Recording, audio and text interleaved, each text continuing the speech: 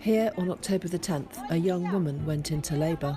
sideed iyo toban sano cunugii ugu horreey waa maya waa israaceen labadooda waxaa waaye gabadha marka hore foolaa qabatay.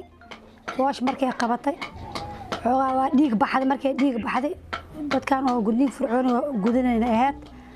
Kadibna iyada iyo cunugii alla yaa raxam yaa raxiim gabadhana iyadan waahay In the same camp, just a few days later, another teenager struggled to give birth. Gabartii markii la qaado baabuurka saas loo nafta ilaa ilaa halay foolanaysa meel soo marmale unuga ariiriyay meeshii ahayd Obstructed labour causes extreme pain and is common amongst women with type 3 FGM. hadda waaye alxamdulilah saas oo kale oo dugsi hadda dugsiga kaamka iigu hayo The Quran teacher's wife suffered an agonising two week labour. The baby was stuck inside her, unable to pass through the tiny aperture left by her FGM.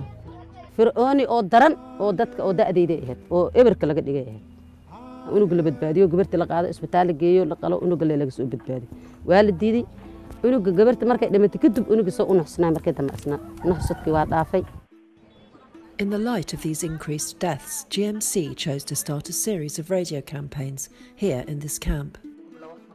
Listening to the radio is a big part of the day, and to measure the impact of the campaign, UNFPA funded several $10 radios. All over the camp, people listened as a religious leader delinked Islam from FGM.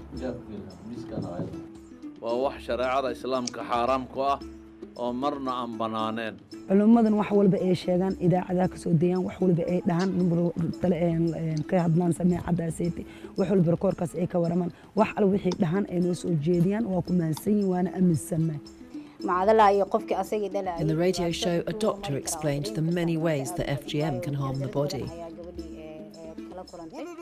walaahi bila tale ebelkii hore fikradda aan qabno horta farqi weynaa u dhexaysay hadda wixii takhtarada aan ka maqalno oo kaleetood laa waxyaabo badanaa ka faa'idna waxyaabo badana noo dheer waxyaabo badanaa ka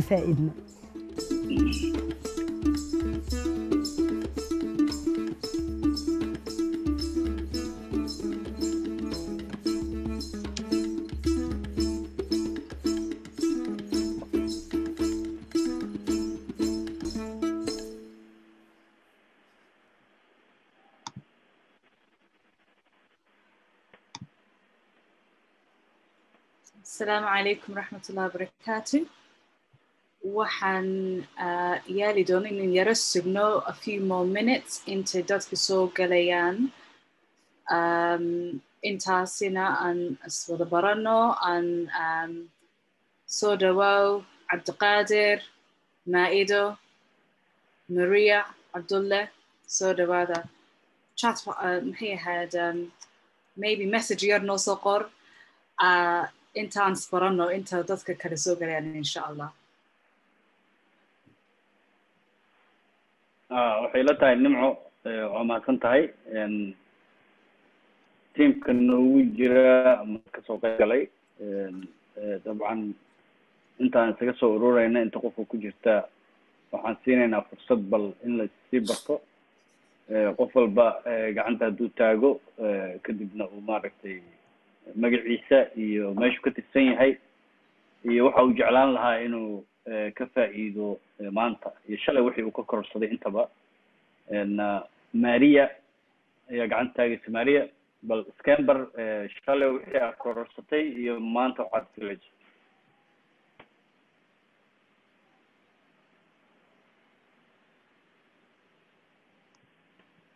Can we give the mic to Maria, please? Maria Abdullah. Yes, uh, Cabdiraxmaan maqashaa malayn walaalo. Si wanaagsan ha. Bismillahi rahmaani rahiim. Magacaygu waa Mariam Cabdulla Xasan. Waxaan joogaa Beledweyne, barnaamij mm, aad baad umahadsantihiin dhammaantiin intii yacni isku xil saartay inuu qabsamo programkan shalay maanta. Runtii shalay waan maqnaay laakiin xilli dambe ayaan ayaan soo galay iyadoo intii ugu muhiimsanayd iga hormartay haddana intii dambe ayaa iigu taliyooday yani faa'iidaysi ku dhageysanahay Een, meesha aan ka soo gaaray waxay aheeday dadka social mediaha ama warbaahinta habka lagu adeegsan karo kambeynkan joojintiga iyo gudniinka gabdhaha oo laba hab ay dadkii u fasirteen dadna ay leeyihiin yacni waxaa ka dambeeya reer galbeedka iyo arrimo kale. Dad inaga naga midana ay yacni ku taageersan yihiin in loo adeegsado kambeynka mediaha ama warbaahinta meeshaas ayaan kala qabsaday. Yani arrimo jiro awgood aan ugu maqnay aad baan u jeclahay laakiin maanta waan ku faraxsanahay inaan fastigii aan qayb ka noqdo waxaan waya faa'iideynayaa maria insha Allah. aad waa mahadsan tahay? Iyo walaal. insha allah waa ku soo laaban doonaa qeybaha ka qeybgelinta maa-ida muxudiin oo ka mid a dadkii shalayna nala joogay.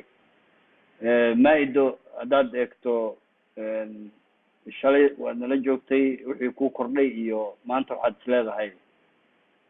Waa ka faa'iidi kartaa.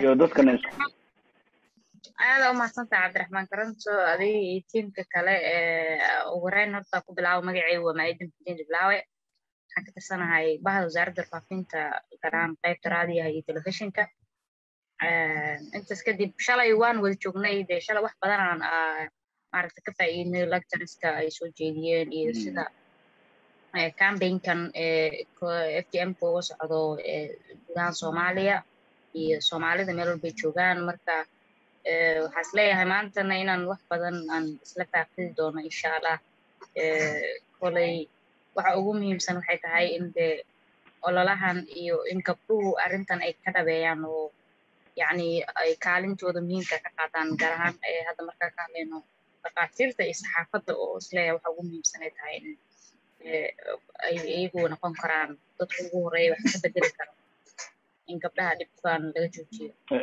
waa mahadsan tahay insha allah waa ka qayb geli doontaa saacadaha soo socda ee barnaamijkeenana insha allah wixii contribution ama comment ama wixii su'aalaha insha allah waqtigaa loo heli doonaa. Eh, cabdiqaadir xasan cabdullaahi oo isna ka mid ah dadka eh, nagala soo qayb gelaya cabdiqaadir mayga kaa xiran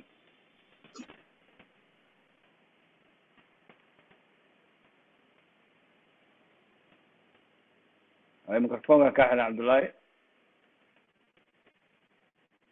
cabdiqaadir waayahay ikran bashiir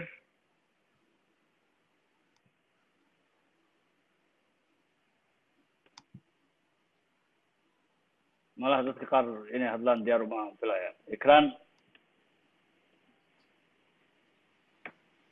Eh, salaad geedi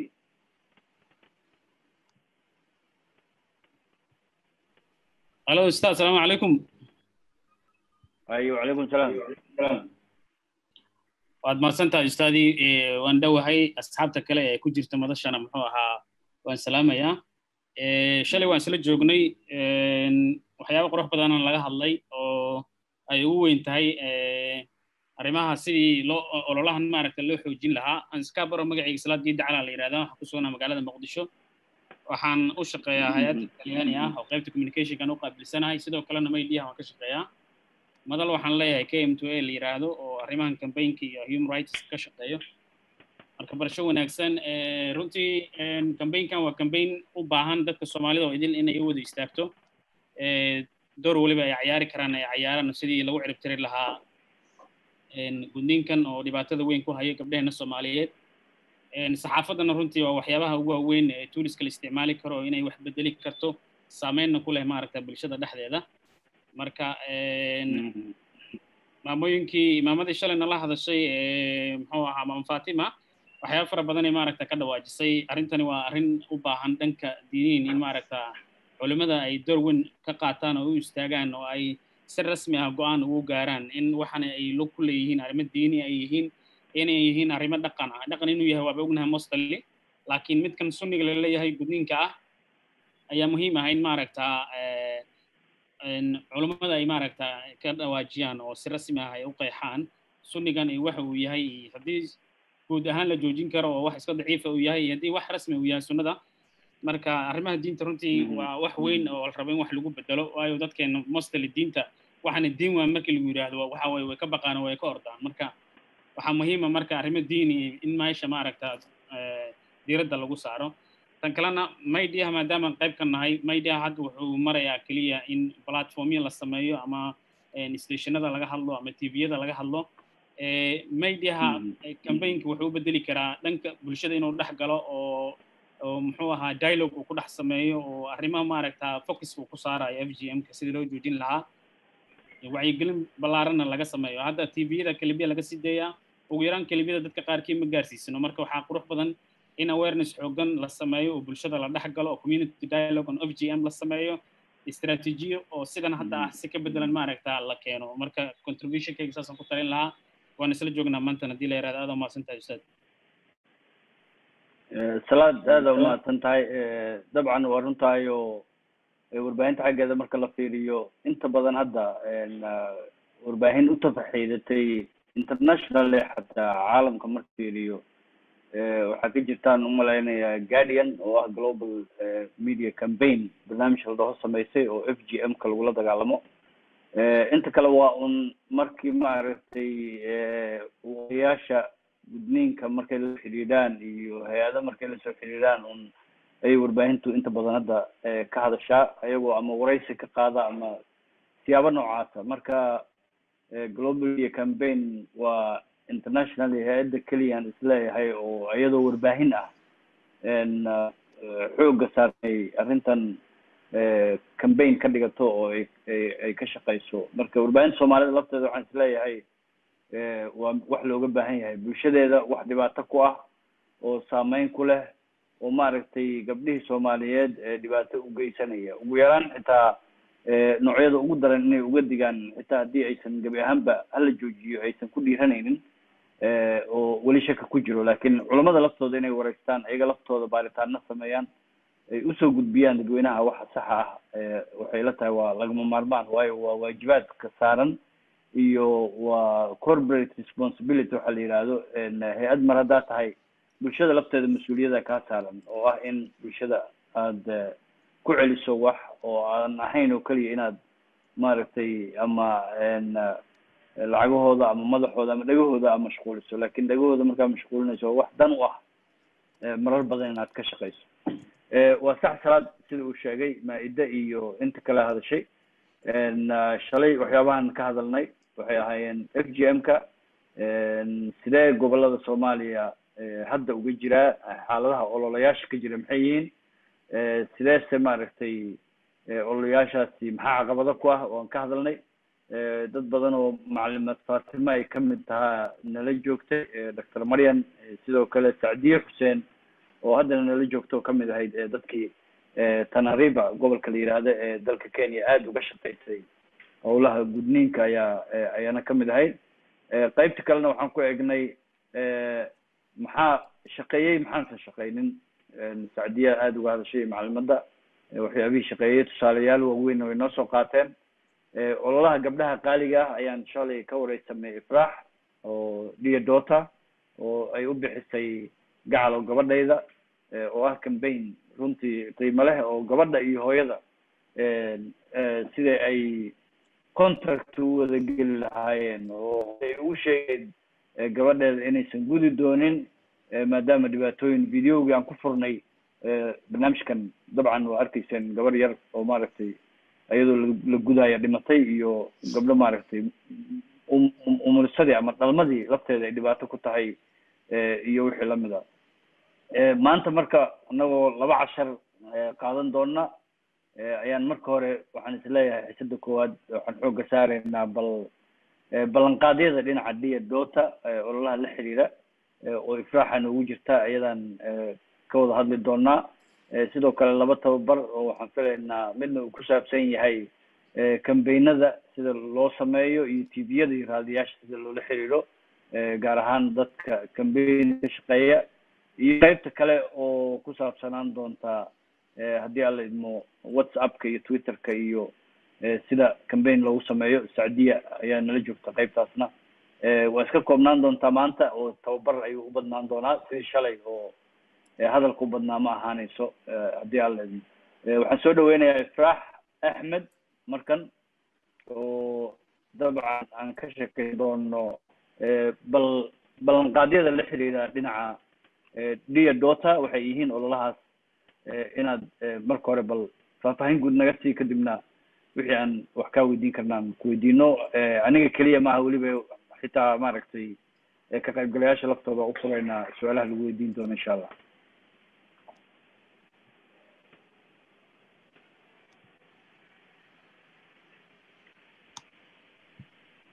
asalaamu calaykum waraxmatullahi wabarakaatu waa salaamantiin. Dhammaan cabdiraxmaan aada umahadsan tahay su'aasha amba mataqaanaa in aan soo koobo faahfaahin ka bixiyo barnaamijkan ah diidoota amba gacala gabadhaydiye gacala gabadhaydiye fikir lix sano ka hor aan fikir aan fikirayo ahaa markii aan soomaaliya labada kun iyo afar iyo tobanka aan dib ugu laabtay anigoo ka ololeynaya gudniinka gabdhaha.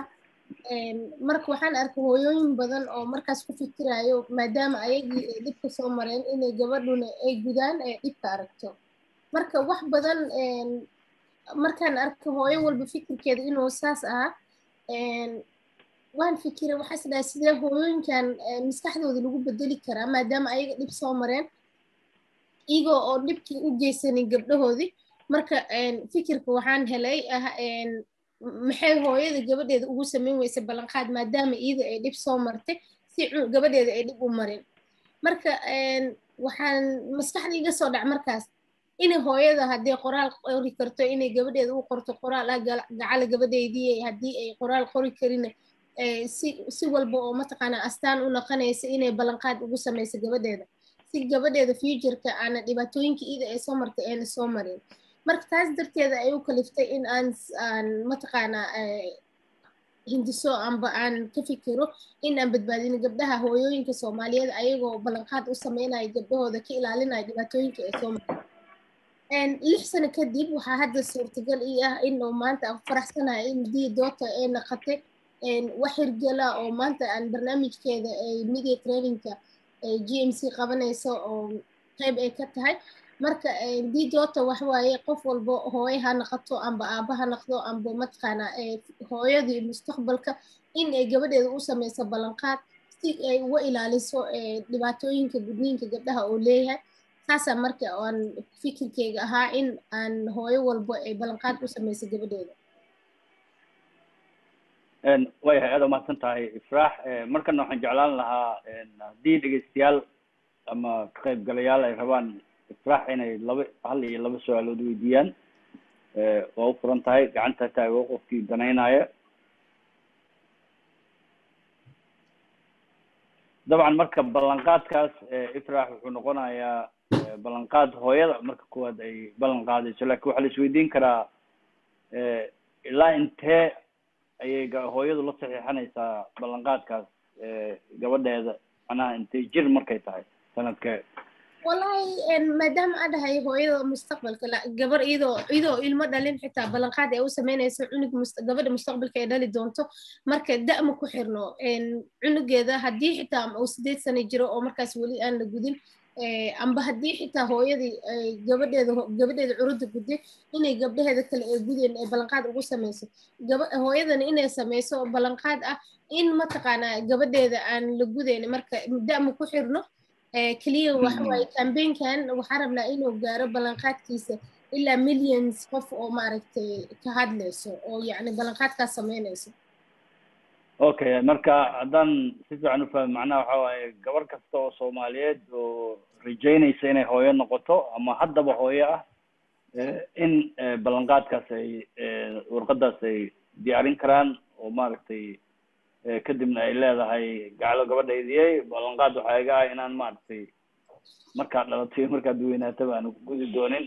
Saas waayo qorshaha soo maa ha ina ballanqaadkaas sameyso inuu qofka yacni inuu buriyo yani dhibaatada loo geystay iyada ay soo martay inay gabadheeda mareen. Su'aal ma ku haya ifraax adoo raaliya aabahona muu ka qayb geli karaa ama hooyo ma maamo unba ka qayb hooyada keliya aabahana wuxuu ballan qaadayaa gabadhiisa in ayna marin dhibaatadii hooyadeed soo martay. Marka rag iyo dumar qof walba uu furan yahay. Ayay xitaa waa u ballan qaadi kartaa gabadheeda ma ahan necessary inay hooyo keliya ee tahay. Rag iyo dumar qof walba ka qayb qaadan kara waaya ka qaybgalayaasha waa u furan tahay su'aal iyo laba fadlan kadibna video yar ayaa naciima noo haysaa aan filayaa oo ay cayaari doonto marka hore laakiin hal su'aal oo ka qaybgalayaasha ah. Dadka nagula jira. Si aan hadhow loo dhihin dee waa bahasha keligiina wadataan. Okay cidna diyaar maaha naciima videoga. Noo wad. Eh, cabdiraxmaan oo haddee suurtagal tahay inaa idinka sii tago waa laga yaabaa laakiin waa soo noqonaya haddii wax su'aalo jiraan eh, dee way soo weydiin kartiin insha allah okay waaye waxay la tahay hal si- laba daqiiqo videoga un inta la daarayo un kadibna Okay. ku saxayna waa Hayo. noo soo noqona insha allah one moment. One second.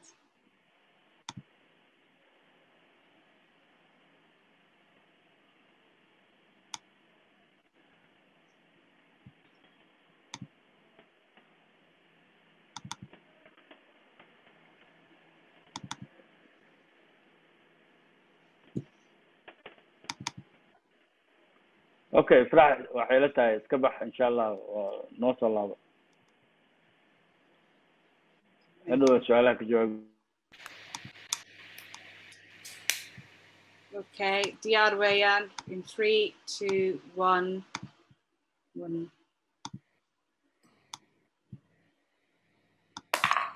gacaliso gacalisaado gacalisaado gacalisaado waxaan qoraalkaygan u sameeyey si aan markaa kugu soo eh, sheego cabsidayda fikirkayga rajadayda. Iyo himilooyinkayga aan kaafilayo maadaama aad tahay gabar soo kacaysa.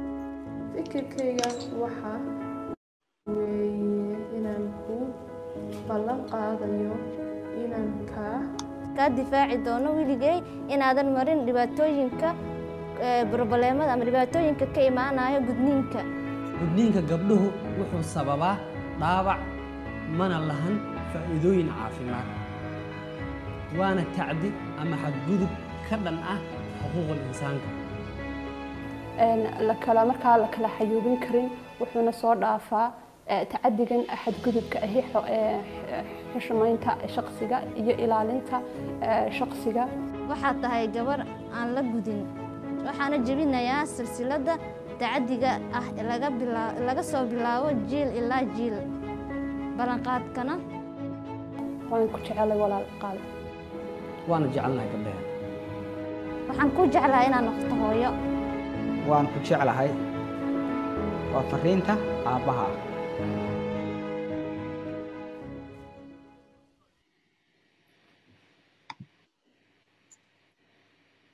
waayahay dabcan waa ifraax way noo soo laaban doontaa iyadaa dabcan noo faahfaahin lahayd eh, videogaas laakiin eh, sida ka muuqata een, wuxuu noo muujinayay ballanqaadka iyo qaabka uu qoran yahay iyo eh, qaabka ballanqaadka loo sameynayo oo daughter eh, gacaliso gabadhaydii marka faahfaahintaas markay soo laabatay noo faahfaahin doontaa markana dhinaca waxaan u leexanaynaa tababarka qeybta eh, koowaad laba qeybood waayaan nidhi Eh, qeybna waxaanu kaga hadli doonaa eh, presentation guud oo eh, ku aadan sida ugu wanaagsan eh, u ololeeyayaasha maaragtay u adeegsan karaan eh, tv-ga iyo eh, raadiyaha eh, labadaba. Marka marka hore waxaan ku bilaabi doonaa insha allah eh, presentation. Okay. Uh, one second. eh, ku saabsan FGM een, laakiin guud ahaan saxaafadda iyo ololayaasha siday u isticmaali karaan eh, warbaahinta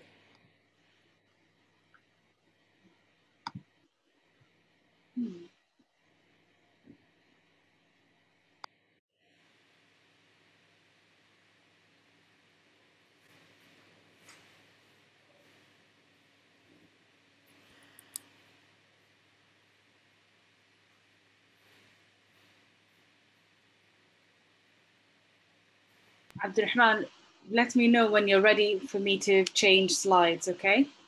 ha okay eh, waa mahadsan tahay marka warbaahinta doorkay ku leedahay qofka uu ololeeyaha ah ama ka shaqeeya eh, f g m kase eh, qaab noocee ah ayuu maaragtay campaign u samayn karaa ama wixiisa gelin karaa arrimaha la xiriira campaignkiisa ku aadan f g m-ka qaybta xiga marka haddaan eegno marka koowaad maxay tahay sababtaan isweydiino bal ay muhiimka u tahay warbaahinta in looga adeegsado media advocacy media advocacy waxaa loola jeedaa warbaahinta dhib ma laha. Marka haddaan eegno marka sidee marka loogu guuleysan karaa isbeddel ololaha f g m-ka oo kale any campaign warbaahintana loogu adeegsan karaa muxuu tarayaase adeegsiga warbaahinta? Waa su- su'aal muhiim oo eh, la isweydiin karo. In marka ka qaybgalayaasha ay ka mid noqdaan maaragtay dadkii stakeholderska ahaa ama dadkii saamileyda ahaa sida gabadhii la gudaayey hooyadii wax gudaysay dhakhtaradii wax gudaysay dhakhtaradii caafimaadka ee gabadha haddii dhibaato gaarta dib loo geyn lahaa daaweyn lahayd. Waxaasoo dhan waxa ay ka mid yihiin dadka danta ka leh in gabadha gudniinkeeda ama dhinac ha u ahaato kuwii gudaya laftoodii inay maqlaan wararka la xiriira sababaha aysan muhiim u ahayn in gabadha loo gudo en, waxana ay iyada lacagta ka raadinayso. In ay dhibaato caafimaad darro ay keenayso inay og tahay warbaahinta ayaa loo mari karaa. Marka qodobada la isticmaali karo waxaa faa'iidooyinkeeda ka mid ah in wacyigii dadka kor loo qaado in maaragtay taageero la helo in eh, la saameeyo eh, dadka siyaasadda eh, awoodda u leh ee go'aanada ka gaara. Eh, qaybta xigta haddaan u gudubno dadka marka saameynta siyaasadda ku leh waxay eh, go'aanada siyaasadda ka gaara waa dadka baarlamaanka ku jira ama dadka siyaasiyiinta kulli marka waxay kaalin xoog leh ka qaadan karaan eh, sidii ay maaragtay siyaasad loogu sameyn lahaa. Sida haddaba puntland ka dhacday golihii wasiirada inay ansixiyeen en, isla markaana baarlamaankii weli uu ka fakerayo marka waxyaabahaas oo dhan waxaa lagu gaaray in warbaahinta la isticmaalo oo wararkii la xiriiray ee kambeynada loo gudbiyo.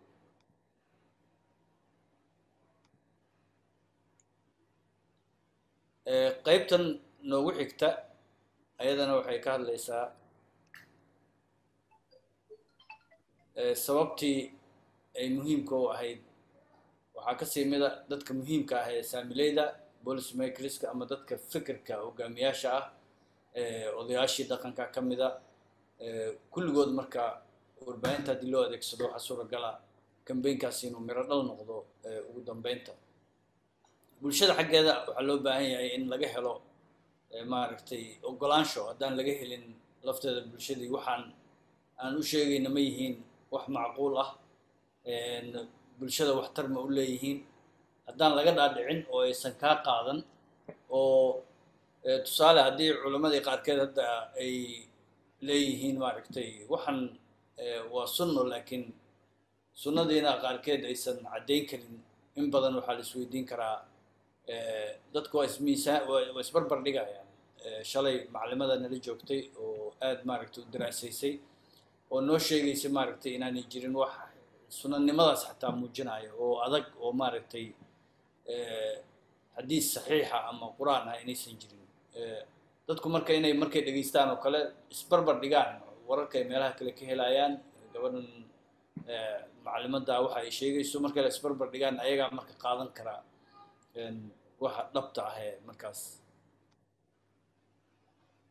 Qaybta ku xigta slide-ka kale haddaan u gudubno waxaan ka hadlaynaa marka sidee warbaahinta adeegsigeeda uu saameyn ugu yeelanayaa guud ahaan maaragtay ololaha la xiriira hadday noqon lahayd f g m ama ololaha guudba. Media isticmaalkeeda marka hore waxaa lagaa rabaa horta planning inaad leedahay. Kadibnaasna kadibna maaragtay strategic planning midaysan oo qorshaysan inuu jiro si maaragtay campaign aa u samaysid. La xidhiidha en, u ololeyn ka ololeynta warbaahinta marka inta badan waxay u taagan tahay. Waxay u baahan tahay mararka qaarkood eh, tactic ayay u baahan tahay. Waxay u baahan tahay inaad diyaarisid action plan wax la dhaho inaad hababka aa u maraysid. Ay kuusii qorshaysan tahay ku degsan yihiin ayaa iyagana lagama maarmaan ah. Qaybtanna haddaan ka gudubno slideka xiga.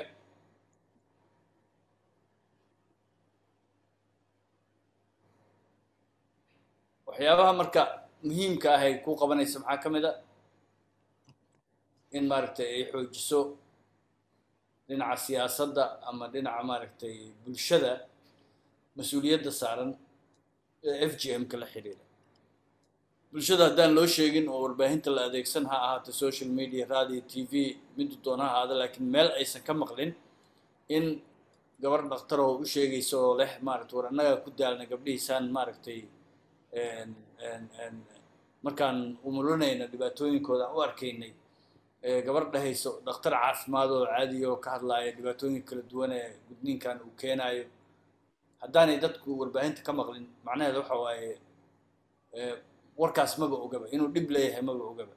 So marka kamaba hadli karaan. So waa laga maarmaan.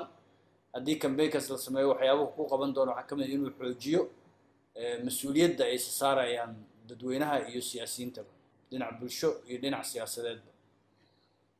Isbeddel ayaa markaas laga fikeri karaa oo dadweynaha isku raaci karaan oo la dhihi kara waxaan aan bedelno sida hadda meelaha qaarkoodba ka jirta.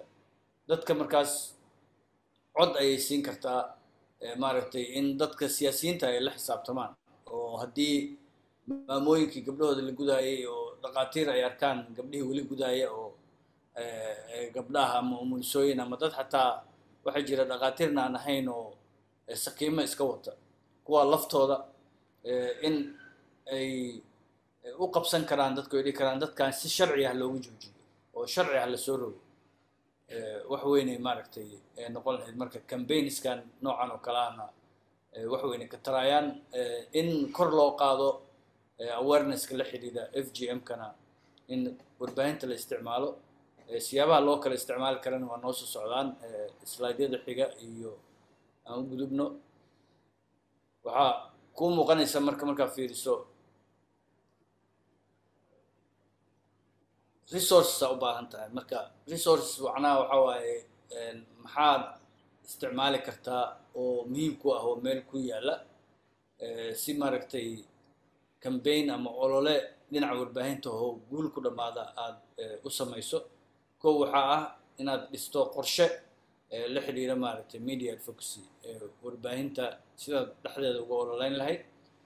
Waxay kaa caawinaysaa sidii guul loo gaari lahaa waxay kaa caawinaysaa marka hore in waxaa loo baahan yahay qayb aad leedahay. Haddaad tahay cambaigner ama qof ololeeya oo ka shaqeeya qof ama qayb kuu qaabilsan isla markaana budgetkeeda iyo shaqaalaheeda leh inaad u leedahay lagama maarmaan waayo. Ururadu way kala duwan yihiin siyaabo kala duwan ay maaragtay awood ugu lahaan karaan dadka u shaqeynaya intay la ekaan karaan laakiin markay ugu yaraato haddii dhaqaalaha kugu yaraya hal qof oo kuu qaabilsan dhinaca communicationka ah waa lagama maarmaan. Waxaa xiga qaybta xigta haddaan u gudubnana mararka qaarkood qof expert ahaad soo karaysan kartaa oo si kumeel gaara howlo ko kooban kugu qabta. Maxaa ka mid a howlahaas uu qabanaayo?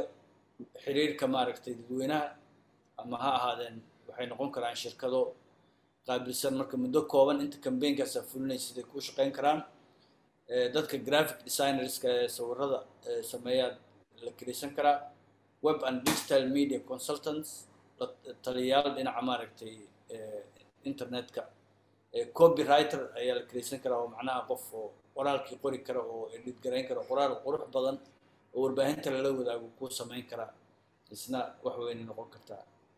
Saddex nooc oo warbaahina ayaa jiri karta oo qaabab warbaahineed loo adeegsan karo.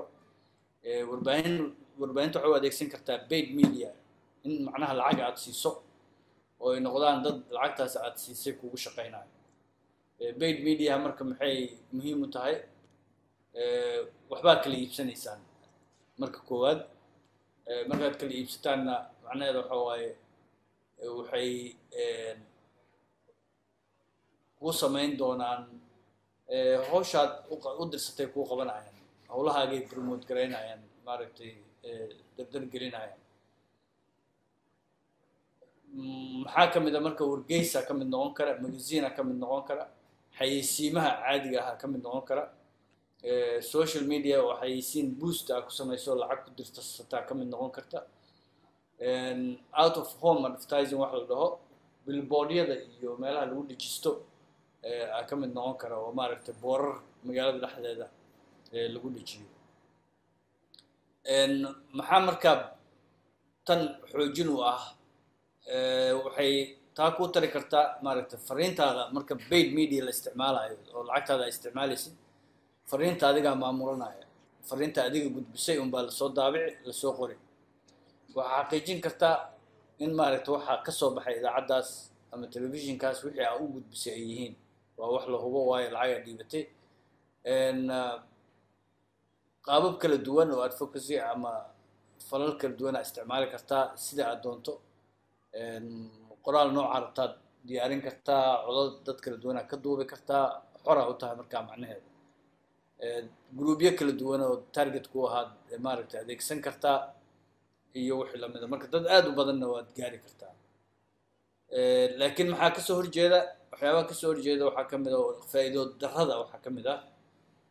Looma arkaayo wixii markii la daabo wax genuine ah wax oo xaqiiqa ah sababtoo ah waxaad lacag ku bixisay waaye. Sida haddaba xayeysiimaha oo kale aan u aragno mararka qaarkood waxay ku dhihi karaan waayo lacagtiisu qofkaan baxsaday waxa ugu wanaagsan ayaan kuu qabanayaa haddaan maaragtay ahay company hebel alaabta ugu fiicneeda kuu keenay dal hebelan ka keenay uu ku leeyahay. So inuu isxayeysiinayo ani waa ogahay oo lacag baxsaday so uma arko wax genuine ah. Dhibaatadaas way leedahay marka la isticmaalo paid media ama nidaamkan. Wuxuu khatar gelinayaa maaragtay kalsoonidii dadka ay kugu qabi lahaayeen oo aad ka kasban lahayd through media organizationkii. Qof lacag baxsanaya tahay. Waxaa u baahanaysaa inaad warkan ku celcelisid mar kasta. So faa'iidadiisa waa xadidan tahay marka la fiiriyo dhinaca kale waxaa jira ayadana eh, qaybta xigta haddaan u gudubno waxaa la dhaho n media. Warbaahin maaragta la kasbaday waa la kasbaday macnaha dadaalkaaga ku kasbatay. Eh, marar badan waxaa laga yaabaa inaad horay ula xiriirtay oo coverage ay ku sameeyeen.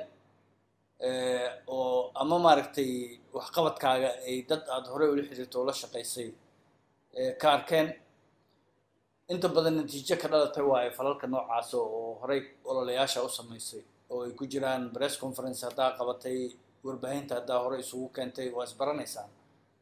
Eh, sidoo kale eh, mararka qaarkood waxaa ka dhalan kara paid media iyo owned media wax la dhaho.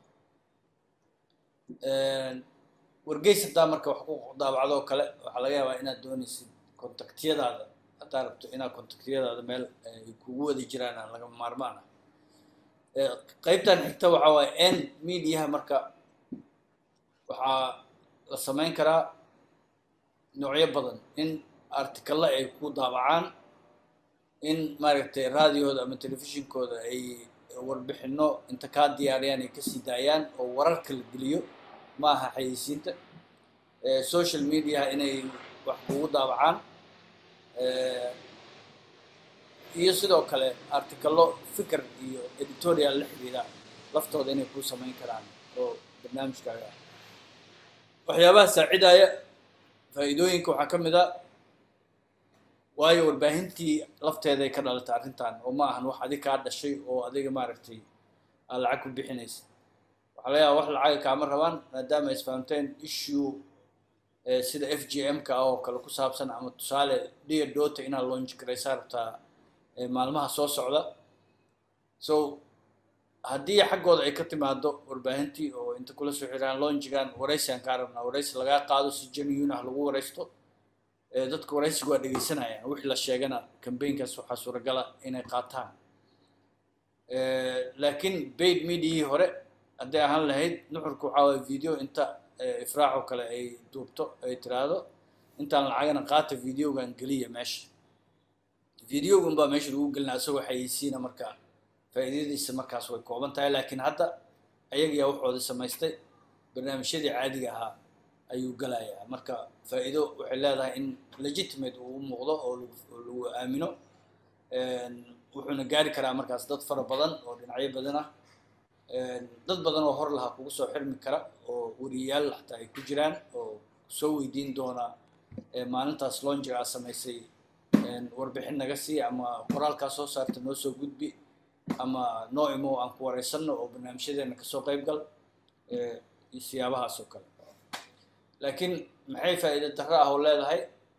Messageka markaan ma ahan mid ku jira hay'adda cambaynka wadda gacanteeda. Ma aha mid ay saadaalin karto waxa ka dhalan doono? Ma wuxuuna maaragtay dhibaato u leeyahay maaragtay diiradda warbaahinta ayay saaran tahay markaan ma saarna laakiin khasaare iyo khayrba labadaba waa ka dhalanaya marka noocaan ay tahay. Waayo warbaahinta marka kula soo xiriirto waxaa suuragala ujeedkeeda inay leedahay inay maaragtay xoogga saarayso waxaa u ololeynaysa wax ka soo horjeeda inay u socoto. Marka interest kale ayay xataa lahaan kartaa oo marka lagu leeyahay ma controli kartid fariinta saasaa loola jeedaa haddaan ka gudubno marka waxaa jiri kara ound media. Warbaahin ayba leedahay hay'adoo kale. Adaabaa warbaahin lahaan karaba waxaa tahay company maaragtay foundation ama hay'ad samafal. Waxaa lahaan kartaa your own media oo gacantaada kugu jira. Waxa ka baxaya adaa design gareynaya adaa maaragtay isku dubaridkeeda iska leh communication journalistka isticmaalaysid adaa iska leh Eh, waxaa ka mid noqon karaa organizational social media. Hadda ifrax foundation haddaan tusaale u soo qaadano ayadaas haddii ifrax foundation twitter ifrax foundation facebook ifrax foundation waxaasoo dhan marka hay'addii askale adaa control buuxa u leh. Newsletter marmar aad soo saartid aa dhici karta inaad samaystid. Website aa leedahay blog qofaa kuu qori kara blog oo maaragta xiriir leediin ama hay'addaaba iskale ifrax foundation blog ay jiri kara youtube channel ay lahaan kartaa Eh, sms platform in whatsapp dadka wax loogu diro oo kale ay lahaan kartaa on media la dhahaa marka taas. Haddaan u sii gudubno qeybta sii xigta slide sideed iyo toban aa la dhahaa Een, tan marka on media faa'iidaday leedahay waxaa ka mid a full control. Maaragta messagekii adaa gacanta ku haya waqtigii la daynayay editorial processkii waxaad doontaa ku dari kartaa Eh, guulaha la gaaray waa maaragta si dhaqsaa u ogaan kartaa laakiin khasaarooyinka waxaa ka mid a looma arkaayo wax genuine ah sababtoo ah hay'adaad tahay adaa waxaan soo saaratay. Eh, limited exposure in hay'adaha maaragtay exposurekaaga inuu yaraada suuragala. Een, inuusan warbaahinta guud ahaan soo jiidanina suuragala waayo waxaagii intaad samaystaa meeshaadii un ku daabacatay. Oo wixii control full ahaa haysataa laakiin maaragtay soo jiidashada inay yaraan doontaa suuragala Een, haddaan u gudubno marka qeybta xigta action plan see loo sameeyaa.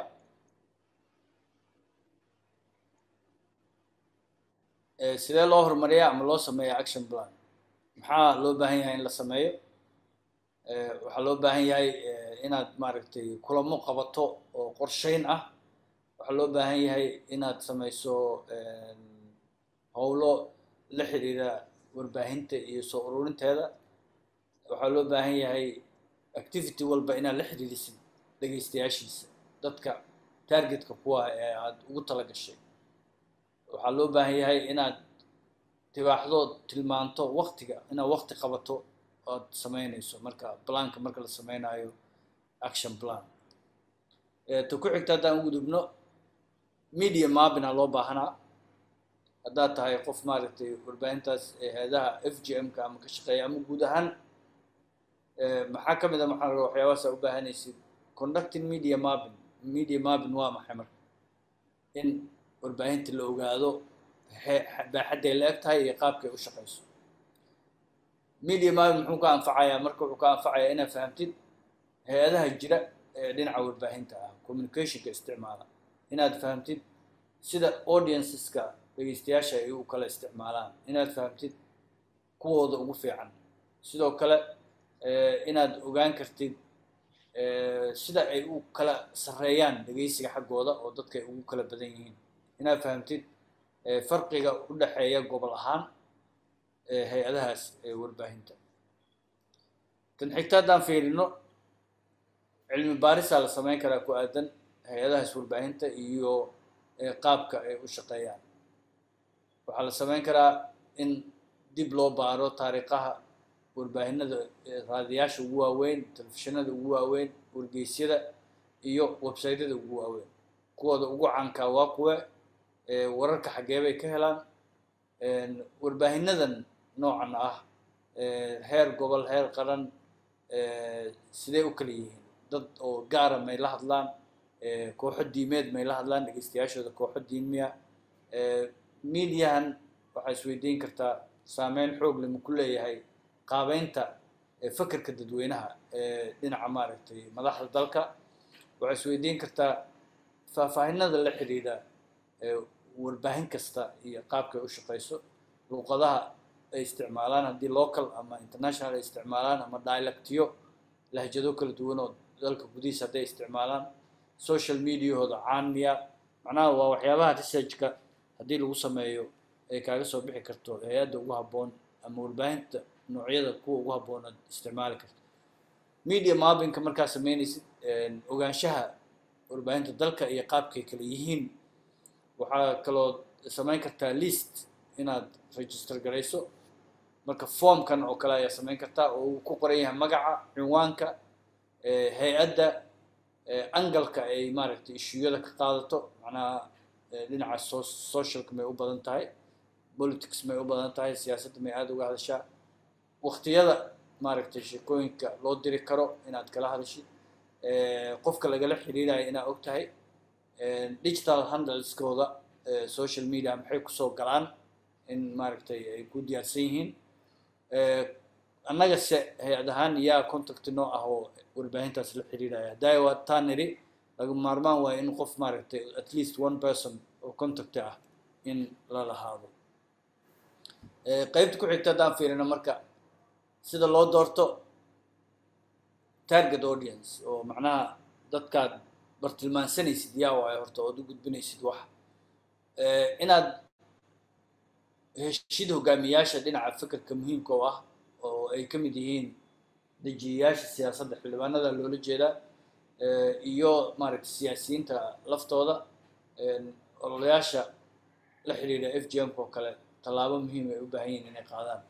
Waxaa loo baahan yahay waxaa ka mid a maaragtay raadiyaashoo kale adeegsigooda dadka muhiimka ah ee aad doonaysid inaad ku martigelisid raadiyaasha marka in ugu yaraan raadiyaashaas aad isfahamsantihiin waa laga maarmaan iyo telefishinada yaa waayo dadka saameynta kule bulshada dhexdeeda adeegsan kartid. Mararka qaarkood qoysaskaaga qoyskaaga xubnaha qoyskaaga iyo saaxiibada ma ku jiri karaan.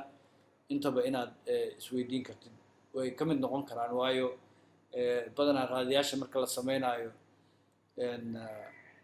audience mappinka waxaa ka mid ah qoyskaagaa soo geli kara waalidka walaalaha waayo waxay ka mid yihiin dadka wax dhegeysta ee idaacadaha la socda dhegeystayaashaada ama dadka targetka kuwa ah primaryga ah kuwa asaasiga ah waxaa ka mid noqon kara dowladaha ka mid noqon kara dowladaha goboleeda ka mid noqon kara wasaaradaha hadda oo kale markaan ka hadlayno f g m oo kale wasaaradaha haweenka waa laga maarmaan oo dumarkii maadaama waxa xubinteeda la jaraya ay qof dumara tahay xubnaha baarlamaanka dhinaca siyaasadda markii la fiiriyo ayagana in target ay noo noqdaan waa laga maarmaan. Dadka ololeeya f g m-ka ee kale ayagana muhiim waaye siyaasiyiinta ayaan ka marnayn. Waxaa xiga qeybta xigta dumarka iyo gabdhaha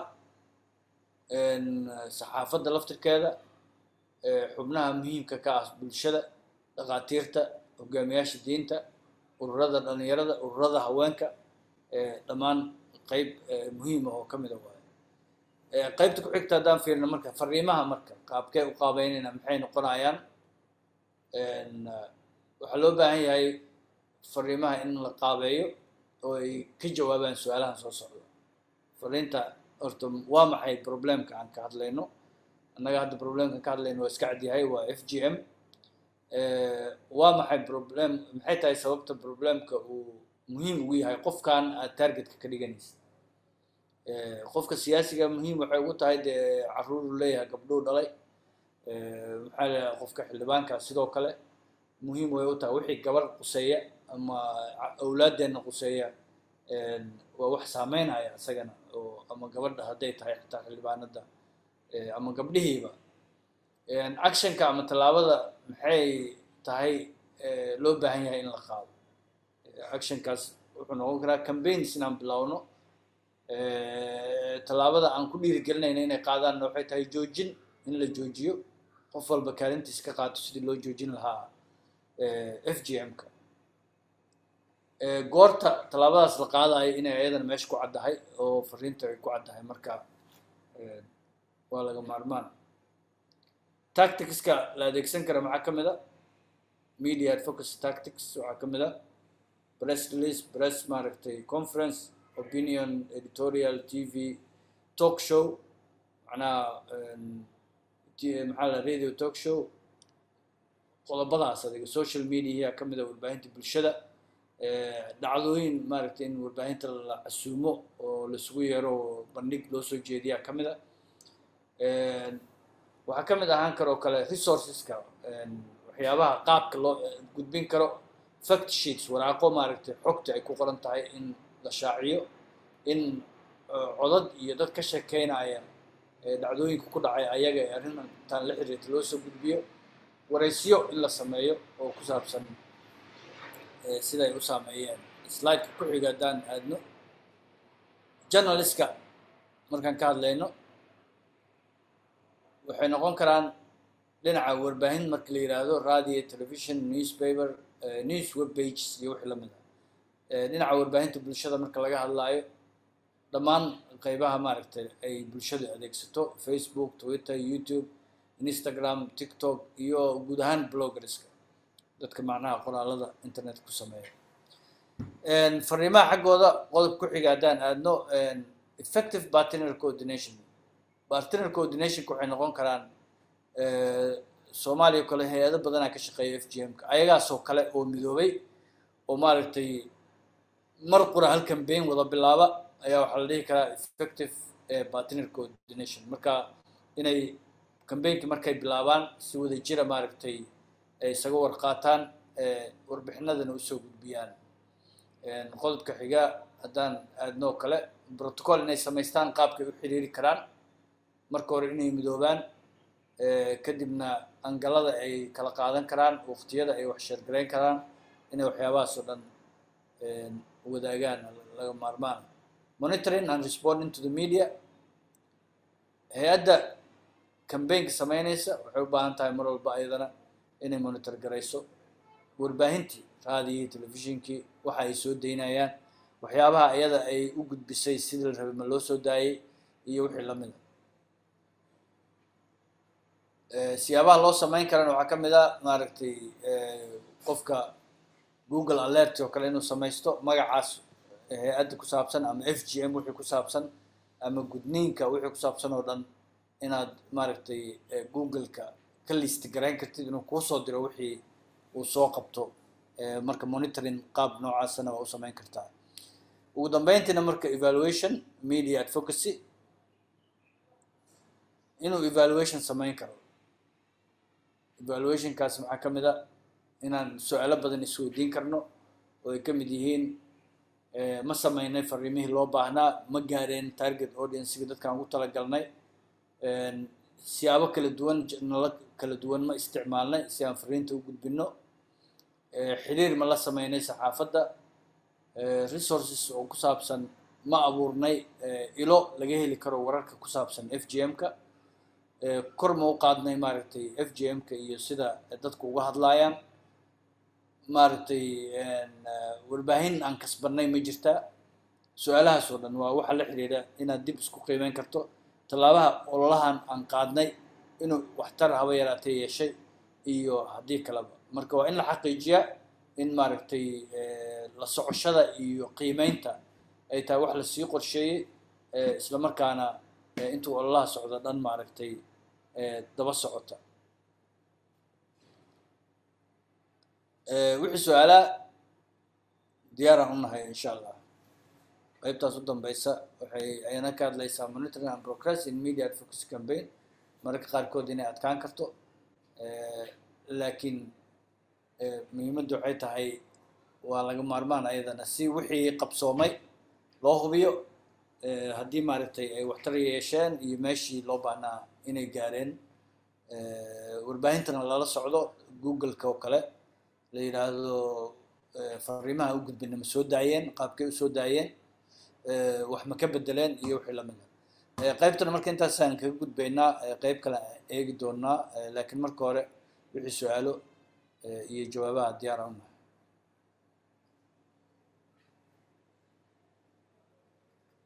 waxaan eegi doonaa protecting FGM sources qofka sourceka ku ah see u difaaci karnaa u ilaalin karnaa iyadana waxaan siinaynaa ilaa eh, shan iyo toban labaatan daqiiqo haddii alla idmo laakiin bal marka hore intaas hadda aan soo qaadanay wixii su-aalah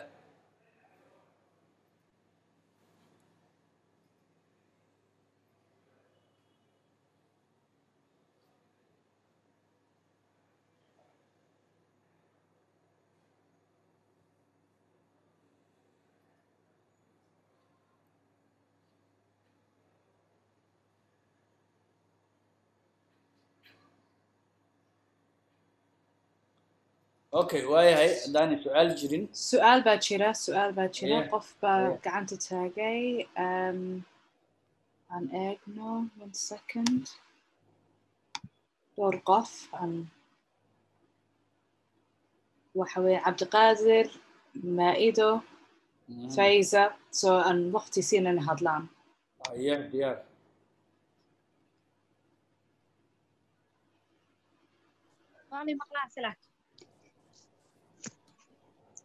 Welcome.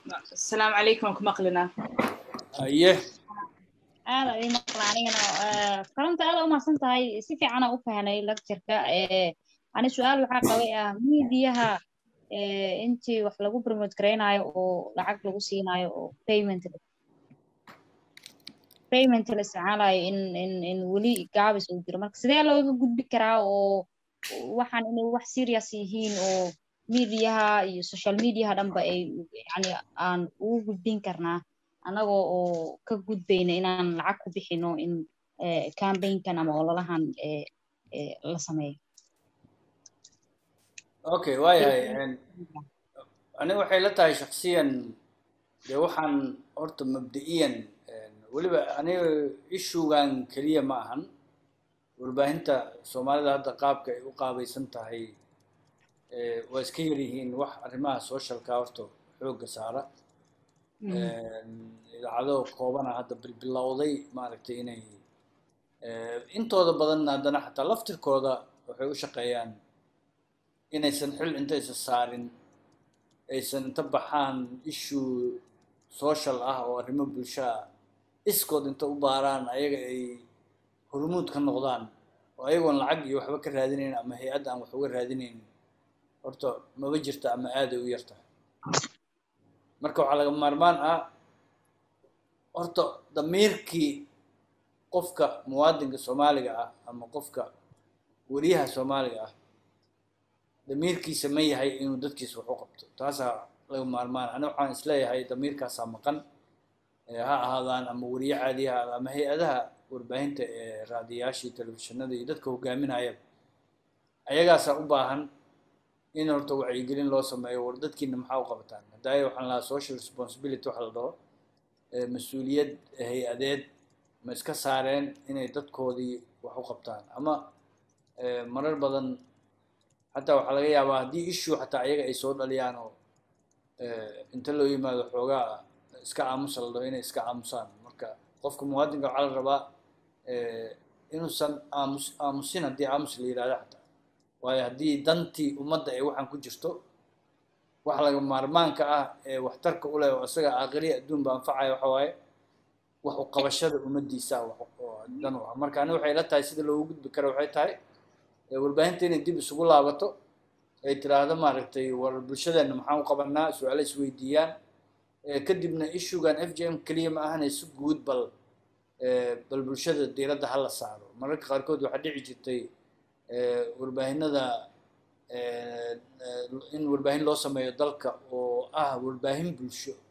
Bulshada inay leedahay boorda maamulaya soomaaliyana waxaan ognahay kama jirto wasaaradda warfaafinta idaacada ay maamusho iyo waxaa ka jira idaacado dad ganacsataa ay leeyihiin.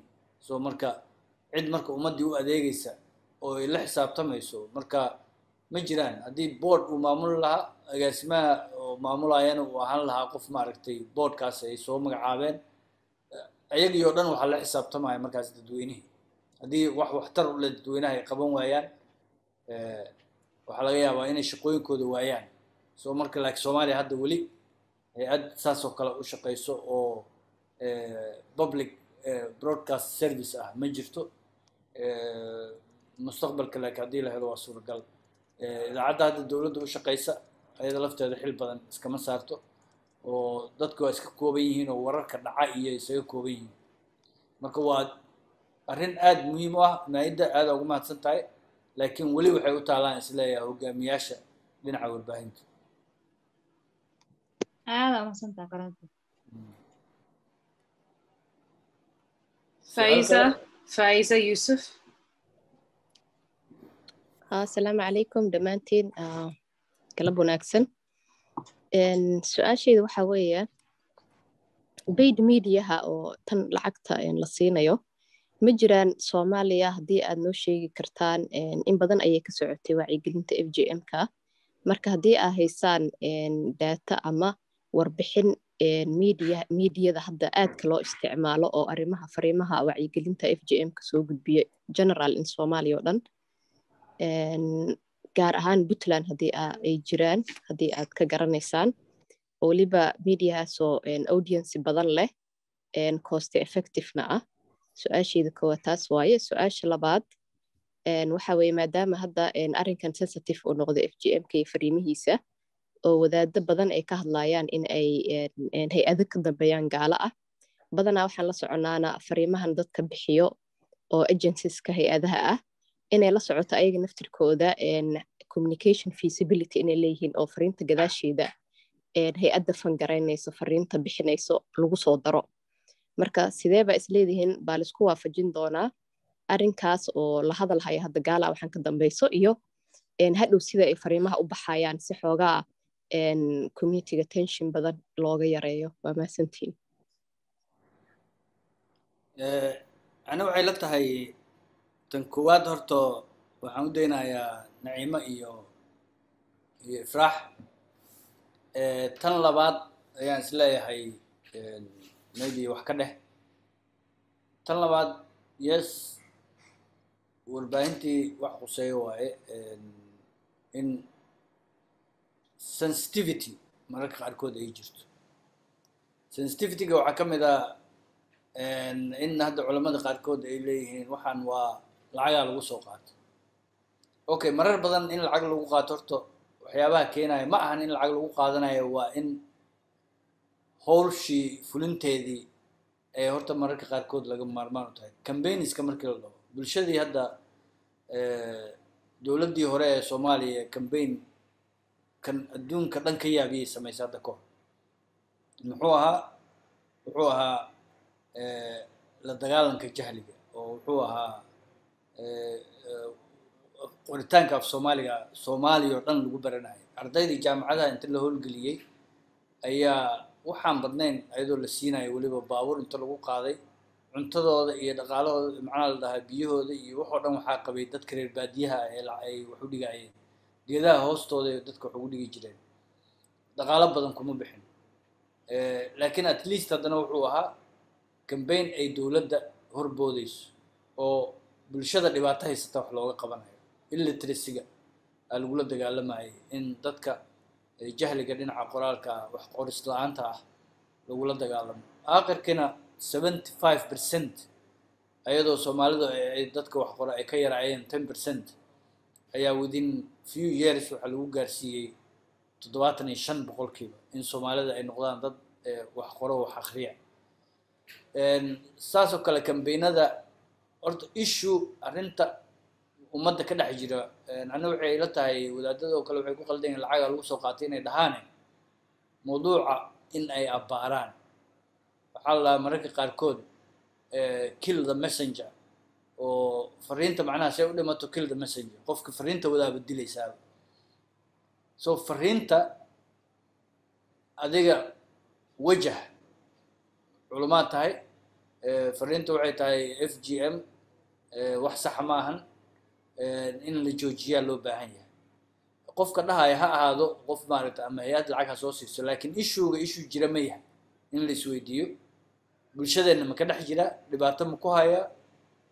Gabdhaheenii maaragtay qaar qaarkood ma u dhimanayaan qaarkood ilaa ay ka dhintaan ayagoo waaweyn maaragtay ilaa maalintii la gudo ilaa maaragtay jirkooda dhaawac ma u geysanayaa iyo dheefshiidkooda iyo dhalmadooda waxaasoo dhan ishuuga taagan lama abbaarayo. Marka fariinta ani waxay la tahay in la abbaaro oo la yidhaahdo culummada ay yidhaahdaan ayad ama xadiid inta keenaan yidhahdaan saxiix waaye waa la hubaa gabadha saana loo gudi karaa. Ama ay toos u yidhaahdaan wax caddayna ma hayno laakiin dhaqan ahaan annaga waxaa nala fiican. Maaragtay sidaas ay haddaba sheegayaan in laga dhiijiyo. Laakiin ay caddeeyaan in maaragtay wax diin oo maaragtay meel ay ku qoran tahay jirin laakiin qof haddaa aragtid maaragtay eeganaya qofkii fariinta siday macnaheeda waxa waaye fariintii ma rabo inuu abbaaro oo target ka dhigto oo uu ka jawaabo. Saasay la tahay. Marka ani waxay la tahay in maaragtay bulshada ay u baahan tahay wacyigelin ishuugan idinka dhex jiro see wax uga qabanaysaan in la dhaho waa run. Mararka qaarkood hay'adaha internationalka ah inay yareeyaan faragelinta waa wax aada u fiican. Laakiin haddana dee dadkii dhaqdhaqaaqayay ama hawsha qabanayay waxay ku dhaqdhaqaaqaanay rabaan. Marar badan ma awoodaan. Bawraaca hataa laga yaabaa inuusan qofka awoodin si uu meel uga tago meel kale u tago caawinta noocaas ahna aniga dhibaato aniga i haysata inaan wax ka qabto cidda iga caawinayso.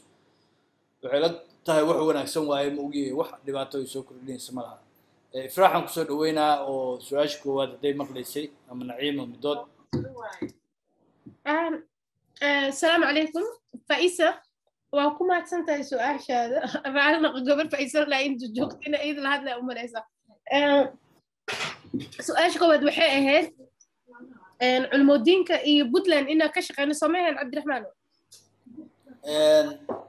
su'aasha koowaad waxay ahayd qaabkee warbaahin oo bayd ah oo macnaha warbaahinta lacagta la siiyo puntland oo kale cid aad daraasad ku samayseen oo fiican oo maaragtay inta lala xiriiro wax soo dayn karto ma jirtaa oo ma daraasayseen ma ogtihiin ha okay iyo maxaa la dhahaa inaa hayno maxay ahayd wax oo database mediaha sida ugu shaqeynayeen soomaaliya. Haddaa ugu dartid waa iska fiican tahay laakiin puntland si gaara noo weydiisay iyo warbaahinta yaa lacagta qaadanaysa. Ha maasha allah faisa abay waxaa jirta gabar la dhahaayo asiya oo magac dheer dalmar facebook haddaa aragta ma ogi. Asiya waa gabar oo wariye ah oo joogto garowe waxay ka mid tahay dadkii ugu horeeyey global media campaign trainingka siiye waana qof nala shaqeeyo oo mar walbo global media campaign iyo ifrax foundation barnaamijyo ay sameynayaan qofka garowe oo amba puntland oo joogo oo mar walba sameeyo wareysiga waxayna ka soo deysaa amba tv-ga oo puntland iyo amba idaacadaha marka iyo wiil kalaa jira asigana la dhahayo jabra oo asigana waxa boosaaso saasoo kale trainingka ka mid ahaa asigana wuxuu joogaa meeshaas markii barnaamijyo waxaas la qabanayana dadkaasa la xiriirna. Haddii oo aad garow joogtid amba puntland aad joogtid wariye tahay amba activist tahay adigana qayb waa ka soo noqon kartaa whatsapp group aa leenahay whatsapp groupka nagala soo xiriiri kartaa. Haddii aad rabtid barnaamijyo inaad samaysid oo kale waa noola soo wadaagi kartaa insha allah markaas global media campaign taageero yar yar oo waxay dhibtaa xiliyada maxaa la yirahda maalinta carruurta hadda u dambeysay oo nasoo dhaaftay maalinta oo gabdhaha oo ah october eleven lix iyo tobanka maalmood oo olaha ciribtirka tacadiga iyo maxaa la dhaha lixda febraayo iyo marso waqtiyada oo ma aragtay aad global media campaign u sameysa waaye supportka oo wariyaasha iyo culmodiinka idaacadaha la soo fariisiyey wariyaashana wax yar yar oo ay ku bixiyaan idaacadaha amba tviyada barnaamij ku samaystaan la sameeya marka haddii aad rabtid inaad qayb ka naqatid whatsappka aba hadda whatsappkayga haysatid si khas ila soo xiriir garuubyada aleenaa kugu dareynaa qof walba meesha ku jiro oo jecel inuu qayb ka noqdo dhinaca warbaahinta amba activismka oo ololeynta gudniinka. Meel kasta aad joogtid fadlan whatsapp groupka nagala soo xiriir. Gruubyada idinku dareenaa markaas waxaad wax ka ogaanaysiin sida global media campaign dhaqaalaha u bixiso iyo sida ifrax foundation oo ah local organization. Markaas dadka meesha barnaamijyada soo qorta ee la shaqeeyaan. Marka haddii aad whatsappka aa nagala xiriiraysa fadlan message iisoo qor qof walban waa iisoo qori karaa oo rabo inuu ka mid noqdo global media campaign media activist amba shaksi oo activist ah oo caadi ah waana loo baahan yahay qof walba inuu qayb ka qaato. Waxaa ka hadashay culimmadii in fikir fikir gaaleed iyo waxaasaa la geliyaa dhahda taas hadda kuu sheego runtii aniga gabar soomaaliyeeda ahay markii maanta soomaaliya la fiiriyana waxaa ahay shaksiga keliya ee la yiraahdo ifrax amba ifrax f g m ifrax foundation oo aad ugu ololeynayo joojinta ciribtirka gudniinka gabdhaha waa ognahay hadda xaaladda puntland ka taagan oo ah culimmadii inay laba dhinac u kala safteen waxa la diidaya laga soo horjeedana ayaga ee u tahay in la yiraahdo zero tolerance amba ciribtirka gudniinka gabdhaha completely. Ay leeyihiin qaarkood sunnada rabnaa qaarna ay leeyihiin maxaa la yirahdaa kulligiis hala joojiyo hadda insha allah isbuuca dambo hadduu ilaah yiraahdo hadda garowe joogtid waxaa jiro barnaamij loogu talagalay culumodiinka reer puntland iyo galmudug oo soddon culumo ah laysku keenay lagu qaban doono garowe haddii aad joogtid ood rabtid inaad ka qayb gashid amba wariye ahaan amba inaa xitaa ma aragtay story ka samaysid soo dhawaa qof walboo raban inuu ka sameeyo wuu soo dhawaan karaa annaga fikirkeena waxay tahay maadaama culimmadii ayaga dhexdoodii ay laba fikir kala qabaan in aan helno hal meel oo ma aragtay looga soo wada horjeedo inuu gudniinka waxun yahay ina gabadha dhibaato inuu u keeno maogiye diin ahaan wax caafimaad ay ku jirin. Waxa hadda u ordeynan waxay tahay in mataqaanaa puntland waa hormuud aad u wanaagsan ee soomaaliya oo dhan u tahay. Waxay ugu tahay waxay tahay sharcigii oo federaalka ilaa hadda mataqaanaa la keenin isjijiid iyo buuq badan ka jiro in puntland oo mataqaanaa madaxweynihii saxiixa golaha wasiiradana ay soo ansixiyeen. Haddana waxa aa sugayna ay tahay baarlamaanka wariyaasha meeshan ku jirana. Waxaan idinka codsanayaa haddii aad aaminsan tahay gudniinka inuu dhibaato u geysanayo gabadha inuu gudniinka wax xun yahay fadlan waxaa isticmaashaa platformkaada amba mataqaanaa social networkkaada si dadkaas kale fikirkaada u qaataan ayagana ee mataqaanaa uga soo horjeestaan gudniinka.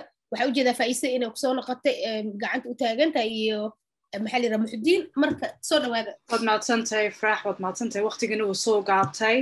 Inkastoo connection issuesna yaro jiray casharo dambena noo noo taalo waxaan imika doonayaa inaan fadlan su'aalaha imika inaan pose yaro siino inaan cashirkeena ku noqono hadhowna su'aalaha ku soo noqono insha allah sax waay naciimo saasaan samaynaynaa aad umahadsan tahay slideska haddaad noo soo gudbisid aya waxaan galaynaa markaan sourceska karo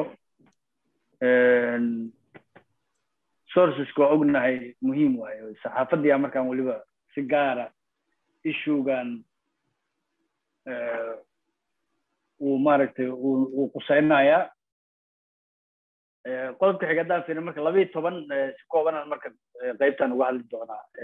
See u ilaalin karnaa qofka warkana siiyey. Haddaan nahay waxaa laga yaabaa war muhiim oo f g m ka ah in maaragtay isbitaal gabar joogto oo dhakhtarada ay noo soo sheegtay in dhakhtar meeshaana gabdhaha uu maaragtay si xun u gudo isla markaana waxay u baahan tahay in maaragtay wax laga qabto kale.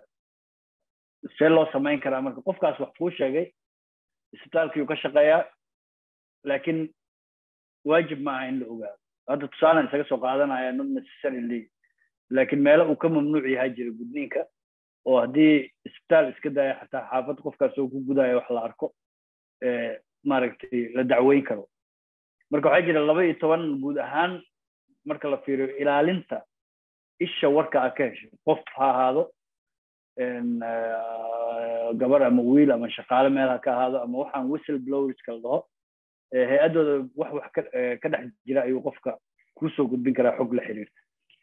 Marka si kooban aan uga hadli doonaa laba iyo toban qodob oo waxaa jirta mabda oo loo ilaalin karo iyo qodobo kalean geli doonaa. Laba iyo tobankaan mabda tan ugu horeysa haddaan soo qaadano ilaalinta qofka adoorka ka heshay waxaa lagaaga baahan yahay inaad ilaaliso horta magaciisa iyo xogtiisa in la ogaado. Marnaba ma ahan.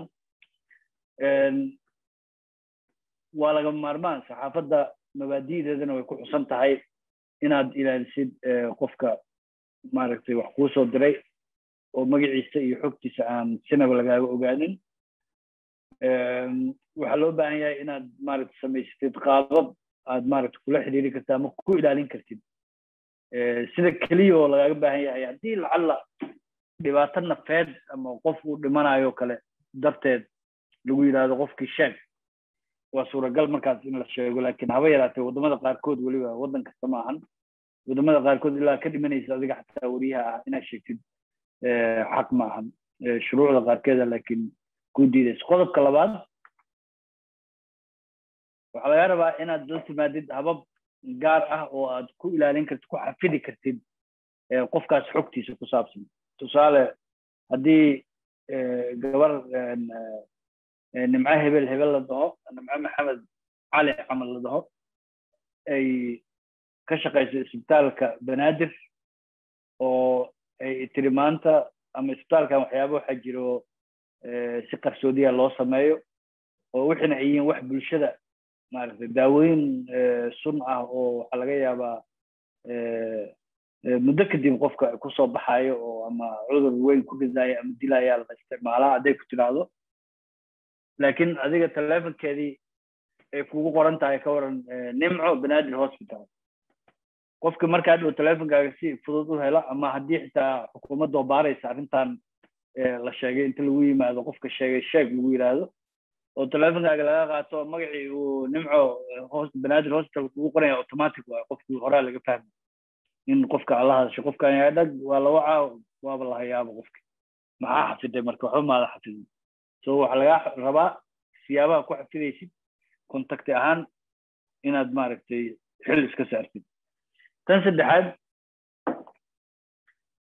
inaad garowsatid qiimaha maaragtay qofka whistle blowerka ah oo wax ku soo gudbinaya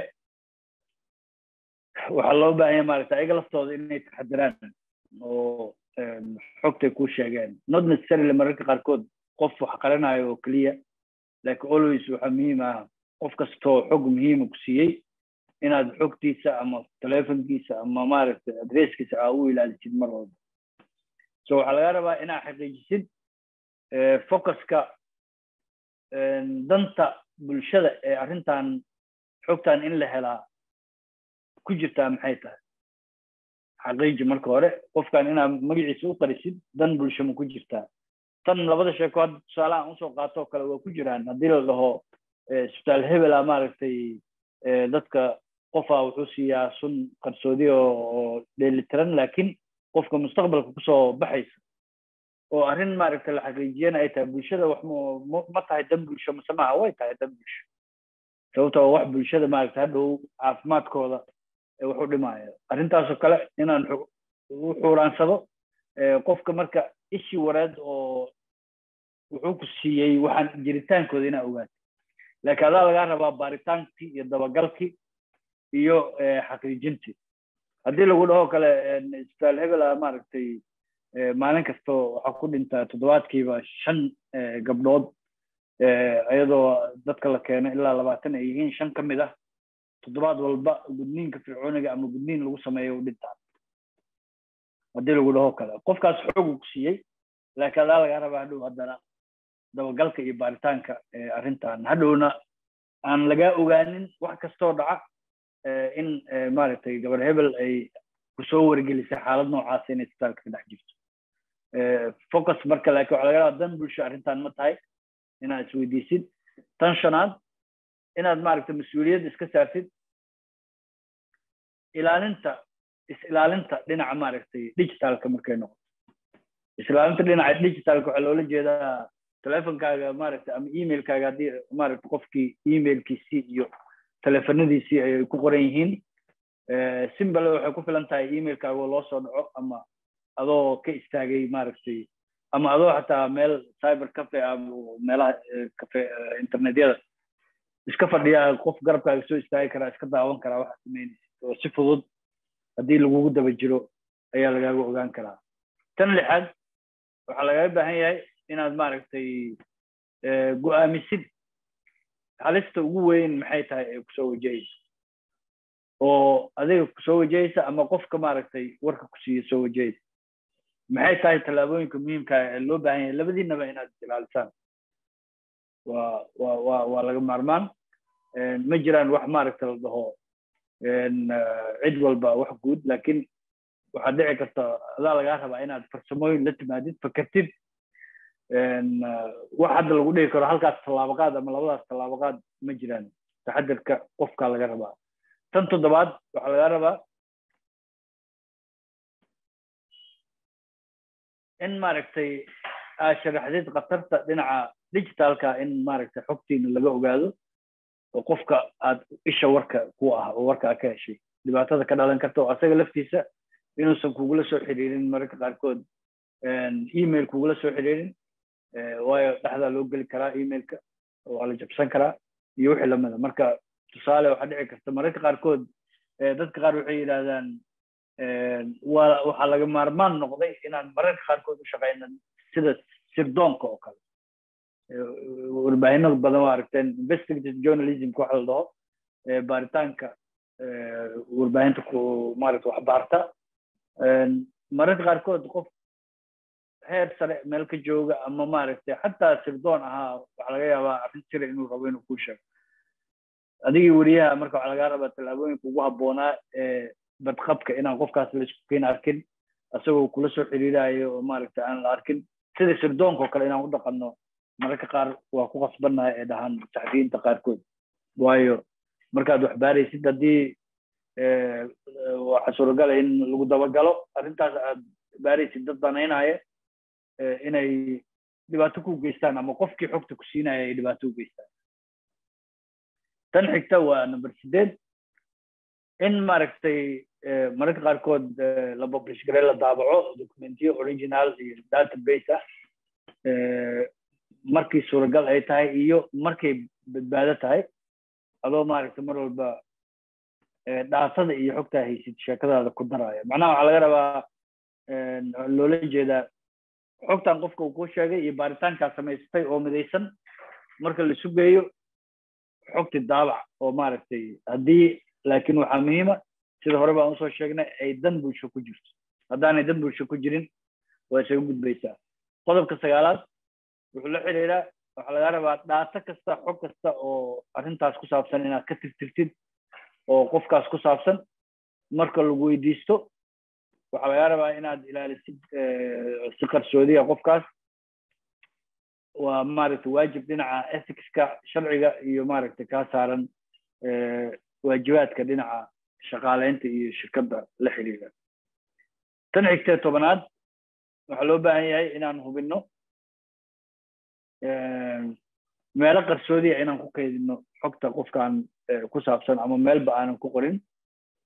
Meeshaasoo badbaadadeeda la hubiyey oo maaragtay la xaqiijiyey.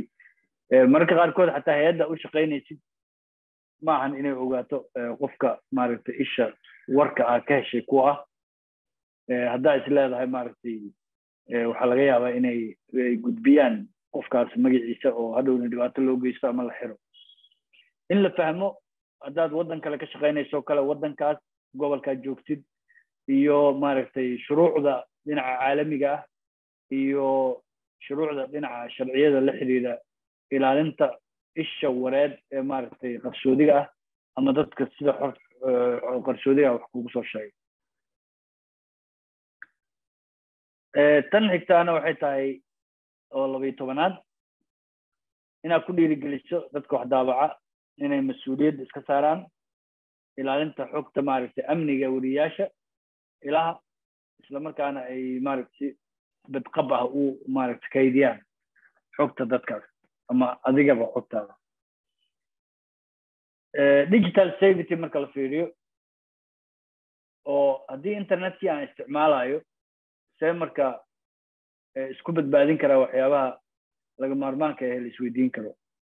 Digital safety marka koowaad waxaa ka mid a khatar badan inay jirto oo qofka wariyaha ah iyo qofka maaragtay wax daabaca ee internetka isticmaala smartphone haddaa isticmaalaysid satellite phone haddaa isticmaalaysid oo aad ku sugan tahay meelaha dagaalada ay ka jiraan ama maaragtay regimeska dadka kilitaliska ay ka jiraan hadda annaga soomaaliya kilitalis lama dhihi karo laakiin weli dagaal zone war zone kamaana bixin. Runta marka la sheego marxalado maaragtay isbeddel u baahan waddankeena weli waa ka jiraan ilaa hadda. Xogta maaragtay aa gudbinaysid ee ku saabsan goobta aa joogtid locationka mararka qaarkood hadduu ku furan yahay oo kale khataray ku gelin kartaa. Meesha joogto si fudud inta lagu ogaado haddii lagu dhaarsan yahay oo kale si fududa lagu soo qaban karaa. Faylashaada maaragtay dhinaca communicationka la xiriira waxaa dhici karta in dhexda loo galo oo isla markaana ilihii wareed ee aad lahayd markaas laga la ogaado hadhowna dhibaato qofkaas loo geysto. Oo ama la dilo ama la xiro ama wixii lamida sababtaas darteed marka laga maarmaan waxaa ah qof walba in maaragtay digital security markay noqoto ammaankiisa uu ilaaliyo dhinaca digitalka iyo adeegsiga internetka. Qodob ku xiga haddaan u gudubno tallaabooyinka lagaaga baahan yahay marka waxaa lagaa rabaa mar kasta. Tusaale haddaad safar u baxayso inaad warar soo qabatid ood maaragtay banaanka ka soo qabatid ama gobol ka mid a gobollada soomaaliya lagaaga sheegay sida hadda gabadhii yareyd oo iyadoo la gudaya dhimatoo kale qof muqdisho ka baxo xagga u socdoo kale. Maxaa looga baahan yahay marka hore? Inta badan inuu maaragtay si cad uu uu clear out ugu sameeyo wixii maaragtay uu ka dhameeyo ka baabi'iyo meeshiisa.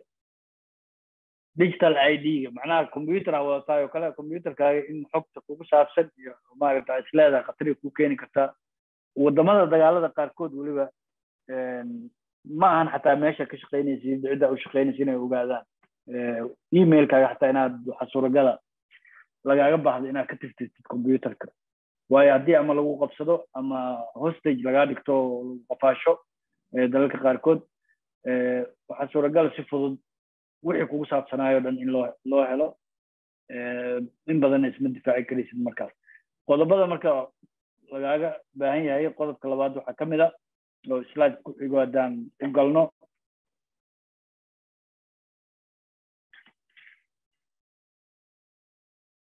Okay xoogaa ii dhaafaa umaleynaa slideka Sorry, which slide one? tobanaad Haye, so dib baan u noqda soo maaha kan toddobiyo toban. What number? I can't see the numbers so I'm not sure which one is which. Um, okay uh, oh go back. Go back okay sorry.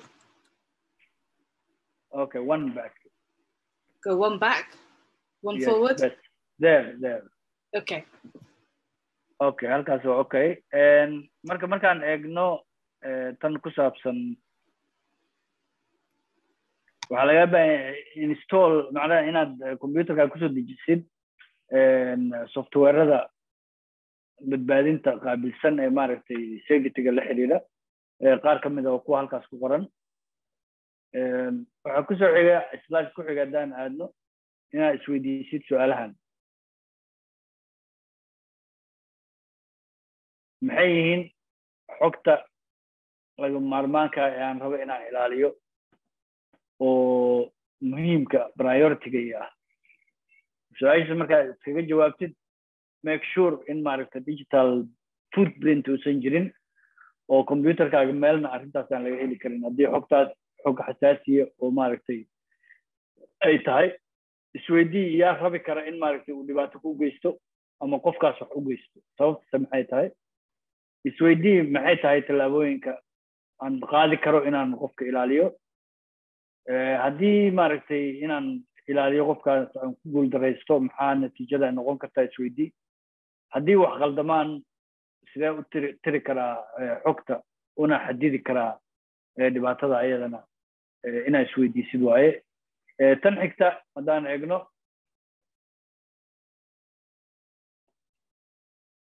markaasoo kale markaad laptopkaaga ama qalabkaaga smartphone ka qaadanaysid waxaa laga maarmaana inta aad hawsha ku jirtid oo dhan oo banaanka gurigaaga aad joogtid inay safe yihiin oo maaragtay aan si fudud maaragtay loogu loogu xadgudbi karin. Tan xigta waxaa lagaa rabaa slide ka xiga. Haddaad meel maaragtay dukaan oo kale ka shaqaynaysid oo laptopkaaga soo qaadatay cyber cafe ama meel bab ah ama aad ka fadhidaaba. Make sure dhabarkaaga maaragtay inuu xigo dhinaca daaqadda oo kale. Lacalla hadduu xigo dhinaca daaqadda oo qofaa daaqadda soo istaagi kara ku arki kara waxaa laga rabaa markaasoo kale muraayad yar oo qofka ku aadanee hor fadhiya moogiyo qof kale uusan screenkaaga arki karin ayaa jira oo bambiiro yar camal ah oo shaashadda aad saaranaysid taasoo kale inaad wadatid hubi. Haddaadan wadan laakiin qofkii dhinaca kaa soo istaaga ama maaragtay waxa aad qoraysid iyo computerkaaga uu isticmaali karaa as far as possible intii suuragala maxaa laga rabaa qalabkaaga iyo sikaa dheeraan laptopkaaga mar kasta la joog hotelka hadday noqoto wariyaasha maaragtay xuduudaha aan lahayn ayaa maaragtay qoftaas aan ka helnay haddii internet cafe aad ka shaqaynaysid oo aad isticmaalaysid shared computer oo dad ka dhexeeya waxaa lagaa rabaa inaad xaqiijisid emailkaaga inaad ka baxday iyo social media networkaaga inaad tirtirtay browser historygaaga waa lagaa rabaa maaragtay wixii aad markaas galgashay oo dhan haddaadan samaynin dhibay ku keeni kartaa tan xigta haddaan u gudubno smartphoneska laftirkooda waxay u baahan yihiin in maaragtay si gaara looga fikero tusaale haddaad joogtid banaanka oo waxaa lagaa rabaa in smartphone aadan qaadanin oo telefon iska basic ah oo sim cardkaaga isaga ridatid aad isticmaashid. Haddaad contact gelisid sim cardka ha gelinin maaragtay sim cardka ha gelinin macnaha computerka madaxiisa ha gelinin telefonka madaxiisa gelin waxaa ku sim cardka make sure. Inaad gelisid kadibna sim cardka haddaad ka maarantid markaad ka bixisid meeshaas iska turtid. Inaad ilaalisid maaragtay contactyadaada saa u ilaalisidna magacyo waxaa isticmaali kartaa hadaayo waxaan lahayn magacii qofka nimca hebel hebel haddaan gelin oo kale ama nimca isbitaal banaadim si fududaa loo soo qaban karaa. Marka magacyo aan la fahmi karin oo qofkii iyo aan lagu xiriirin karin isticmaal.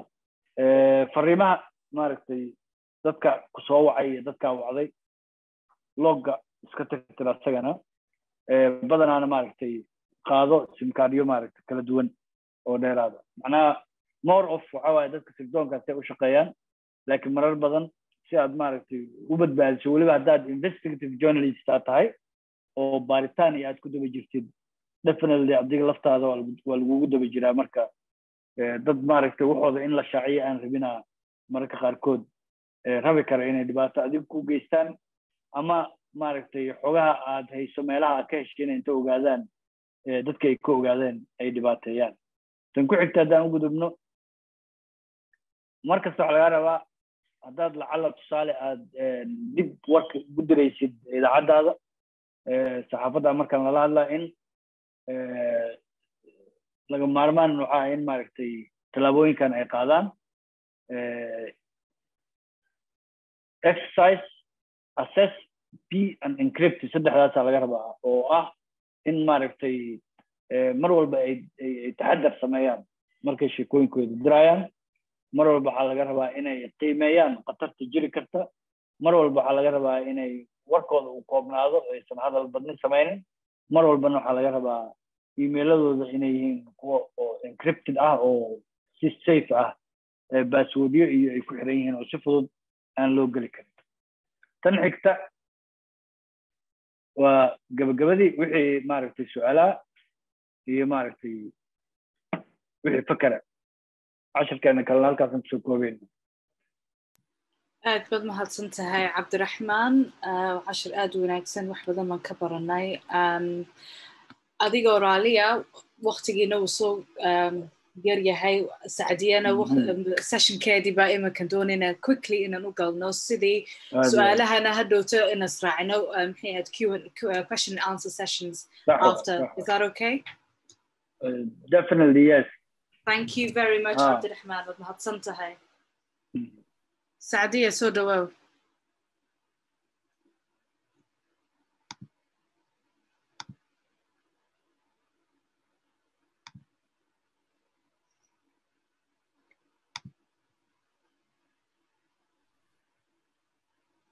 السلام عليكم ورحمة الله تعالى وبركاته وعليكم السلام ورحمة الله سعدية هاي ما إما قشان عود كيجي ملا مغلا وانكم مقلنا سفيعا آه ما شاء الله horta maanta ee waa iga raalli ahaanaysaan safar baan ku jiray haddana kadib markii aan soo galay waxaan erikay zoomkii oo on off on off wallaahi waa yaababo sorry sorry I ما شاء know الله. technical difficulties yar baa jiray لكن الحمد لله so far so good آه، الحمد لله. هذا إن تاس مو عادي كرنا سلايدز مركن إن. اوف كورس one second and let me bring it up.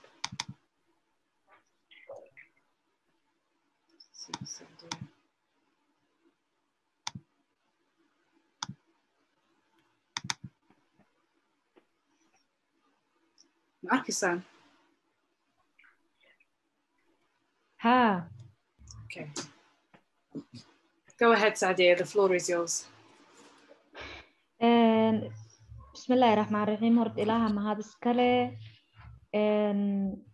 waxaan rabaa inaan wax yar idinkaga sheego ee, sidii baraha bulshada loo isticmaali lahaa iyo mediarkan kale sida radiowga iyo telefishoonka Een, khaasatan radiowga waayo hadda waxaan u malaynayaa radioyaha een, luuqadda soomaali ku hadlayaan dad fara badan ayay gaarayaan. Marka muhiimadana waxaa way fariinta in ay dadka ay gaarso bulshada.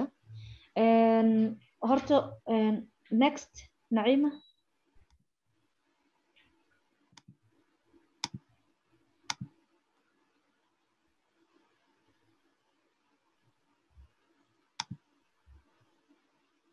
Hadda waxaa shaashada ka muuqdaa sorry. Okay. slidesihii dhamaalaa meesha ka muuqdaan so This is the next slide, Sadia. Can you see?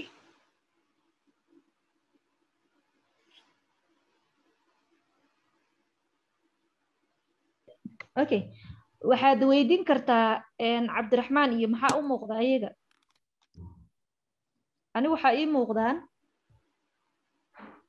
een, waxaa shaasha shaashada saaran all your slides Oh, Ah, sorry. exactly very small Really? Okay, one Yes. second. One second, let me stop sharing. I'm so List of sorry. slide. Let me stop sharing and then see if I could do it again.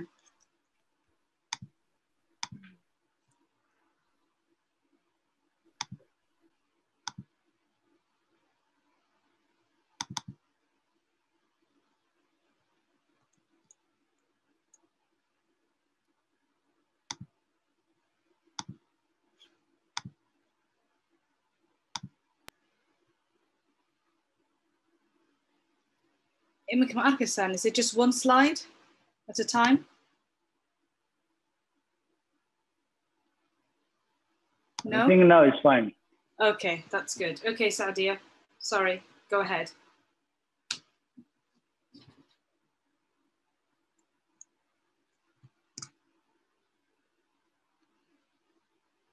Sadia, are you there?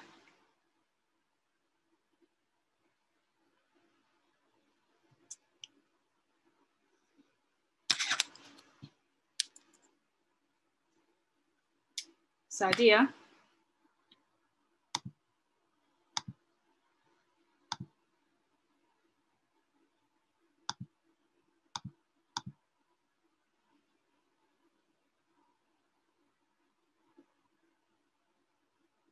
Hello, Sadia. Maybe we can answer some questions in the meantime. oh, oh i'm sorry i was mute and i was talking you know Oh, sorry. No worries. Okay. Imika waan ku. Go ahead. Haye muhiimadda hadda aan ka hadlayno waxaa waaye waxaan u madaynayaa qeyb qeyb fara badan waxaa ka hadlaya cabdiraxmaan si fiican uuna faahfaahin uga bixiyey. Anigu hadda waxaan rabaa khaasatan tababarkaan idiin siinayo in aan ka soo qaato tusaale anigu waxaan sameeyey iyo wixii ii qabsoomeen when it comes to social media. Horta baraha bulshada aad bay muhiim u tahay. Hadda anaga saddex shay aan sameynaa waxaa jira waxa la dhaho policy influence waxaa jira waxa la dhaho maxaa policy influence waxaabay markii aad rabto in aad sharciga wax ka bedesho mise nidaamkii shareecadda iyo gudniin ku saabsan aad wax aad aad maaragta ka qabato mise waxaa laga yaabaa inaad doonaysoba shareecad aysan jirin wadankii aad joogto aad doonaysoba in sharci la soo dejiyo oo gudniin ku saabsan marka baraha bulshada maxay kugu saacideyn karaan khaasatan twitterka maxay kugu saacideyn karaan. Mar walbo haddaad codsi soo dhigto aad soo dhigto codsi waxaad arkaysaa dad fara badan ayay gaarayaan. Tusaale ani ahaan sacdiyo mar walbo oon qodob dood ha noqoto mise tusaale ha noqoto mise fikradda ha noqoto waxaad arkaysaa waxaan sameeyaa waxaan gaaraa ilaa iyo toban kun oo qof inta badanna wax maxaa jirta oo dadka markay hadda twitterka profilekayga haddaa aragtiin kolley waad arki doontaan sacadiye xuseen ay ii ku qoran profileka qaabkii adi aad maxaaway aad aad isu soo bandhigto. Dad qaar waxaa jiraan meesha intay soo saaraan nyaanyuur rabaan in la aqoonsado. Nyaanyuur haddaad meed soo dhigti sidee lagu aqoonsana waay? Waa toos adi profilekaada inaad habaysa sabirka kuu saaran maxaad qabataa?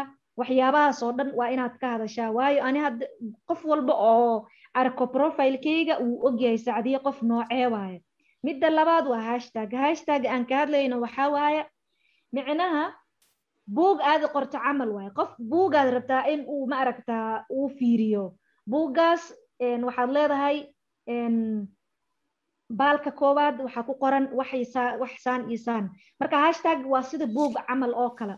Maxaan saas u leenahay? Hadda for example haddaa isticmaashid mathal media to end f g m. Aan mar walbo isticmaalnaa media to end f g m haddaad tagtid twitterka waxaad arkaysaa qof walba oo soo oo isticmaalay hashtaggaas micnaha sacdiya hadday isticmaashay global media hadday isticmaaleen qof kaloo isticmaalay weli waad arkaysaa haye contentka laga hadlayo waxaa waaye waxyaabahaad soo qortay marmarka qaar twitterkaada dadka kula socdo oo la socdo wax alla waxaad soo saarayso muhiimadda waxaa waxa muhiim inaad soo saarayso. Dadka hadha way kugu cajisayaan haddii mar walbo aad un hal aray aad soo saarayso. Wax creativity la dhaha jira macna fikrad kala duwan inaad keentid waaye waxaan u malaynaa hadda cabdiraxmaan iyo niciimo ayag waa dad oo saxaafadaha u soo shaqeeyey wayna garanayaan suxuufiyiinta waxay jecel yihiin fikrad bedelan oo kuwii hore ka duwan. Mar walbo gudmaa laga hadlayaa keli ma ahane gudmo noocee laga hadlayaa fikrad ahaan hadda daan idiin siiyo. Haddii la arko sheeqad oo sidii hadda shalay oo kale ustaada faaduma dadka way jecel yihiin in ay waraysi la yeeshtaan. Waayo weli lama arkin sheeqad soomaaliyeed oo ka hadlayaan oo haween ah oo ka hadlayaan gudniinka. Waa fikrad kuwii hore ka duwan. Ma garate? Liveka waxaaway mar sidii facebook live loo galo oo ma aragtaa youtubeka live looga soo galo twitterkana live waa looga soo geli karaa. Filiit maxaa waaye sidii hadda hadda waa maxaa la dhihi jiray? Haddaa twitterka wax aad soo saarto aad rabtid haddana in ay dad sii fara badan ay gaaraan koraa saaran karta wax filiita la dhaa jira haddaa isticmaashid waa sida status oo kale labaatan iyo afar saacadood ay qaadanaysaa waxaadna arkaysaa intaasoo dhowr oo qof. Ani had inta badan waxaan isticmaalaa u malaynaa toban jeer. Mar walbana kun qof ma ay ka yareen intii arkeen. Maxaas yeelay dadka adig ku raacsan oo kula socdaan iyo dad aan adig kula soconin xitaa way erki kareen. Aad buu ma aragtaa muhiim u yahay wax yaraad qoraysaa meesha saaraysaa marka qof walba uu fiirinayo haddaad dhahda kabaran waxaan doonaynaa gudniinka soomaaliya in la cirib tiro abad meesha saartaba. Waxaad arkaysaa xitaa madaxweynaha uu arkaya group asagana waa laga samayn karaa. Kulan oo ma aragtaa meesha aad ku samayn kartaa aad mar walbo haddii aad rabin in toos ay dadka timelinekii u arkaan caadi waxaad samayn kartaa group ood mar walba fikradihiin aad kaga hadli kartiin midda kale wax engagement la dhahaa jira warkii waa saarta meesha dad baa meesha soo doodayaan adig waa sida camal dood aad furtay markaad saarto dadki maxay leeyihiin waaye waxaad arkaysaa dad kugu raacsan oo kugu taageersan waxaad soo saartay dad waxaad arkaysaa boqolkiiba boqol difaacayaan oo mise diidayaan arrimaha aad dood ka qabaan arrimaha aad soo saartay mar walba waxaa loo baahan yahay in aad ogaato qaabkaad wajihi lahayd qaabkaad ula dhaqmi lahayd. Inta badanna wax walba oo laguu soo diro oo fariin ay soo gudbiyaan waxaa la rabaa in aad si wanaagsan aad aad maaragta uga jawaabto. Haddaad si qaldan aad uga jawaabto aayahaada dambey wax u yeelanaysaa hadhow hadhow intee qof aad bologarayn kartaa? Waxaa laga yaabaa qofkaas haddaad wacyigeliso oo dhahdo arrimo sunnaa laga yaaba inuu kaala hor imaaday uu ku dhahay waa dhaqankeenna haye adaa lagaaga baahan yahay maadaama aad tahay qofkii ma aragtaa u ololeyna arrimahan in aad ma aragta aad dhahdo walaalow heen gudmo dhibaatadan dhibaatadan ay leedahay. Marka waxaan jeclaan lahaa in aad igu soo biirto aan aan hal bir aan ka wada jeesano aan ciribtirno gudniinka aday kugu xiran tahay. Midda kale aan kaga hadli waa whatsappka. Whatsappka hadda ani waxaan qabaa whatsapp oo kenyaan keli ma ahane dad badan ku jiraan. Whatsappna waa aragteen hadda waxaa u malaynaa laba boqol iyo konton iyo toddoba qof ay qaadi kartaa. Dad badan ma ahan laakiin waxaad keenaysaa dad muhiimadii adi aad wadato go'aankaad leedahay aragtida dambe aad leedahay kula wadaagi karaan. Fikradaha aad meesha soo saarayso dad micnaha kula wadaagi karaan oo haddana go'aankaad leedahay meel aad isla gaari kartiin. Midda kale aray markaad soo saarto dad waxaa loo baahan yahay fikrado kala duwan ka dhiiban karo si aad ma aragtaa marka iyada arrinkii aad doonayso aad u gaarto mise guusha aad doonayso aad u gaarto statuskan ka bilaawno hadda whatsapp status shale waxaan u malaynayaa naciima gadaal u noqo. Statuska waxaan u malaynayaa hadda groupkan ka hadlay statuskana waxaa waaye hadda shalay waxaan saaray arrimo oo gazet laygu soo dhaawacay. Iyo statuskaygi saare ilaa hadda waxaa fiirsatay kun iyo laba boqol oo qof dadka adig kugu jiraan ma aragtaa ciwaankaada ayaa heli karaan way fiirin karaan marka iyada waxaad soo saartay way fiirinayaan qaarkooda marka way kuusoo jawaababan maasha allah waa arrin wanaagsan. Qaar waxay kuleeyihiin war waxan maad iskaga hartid.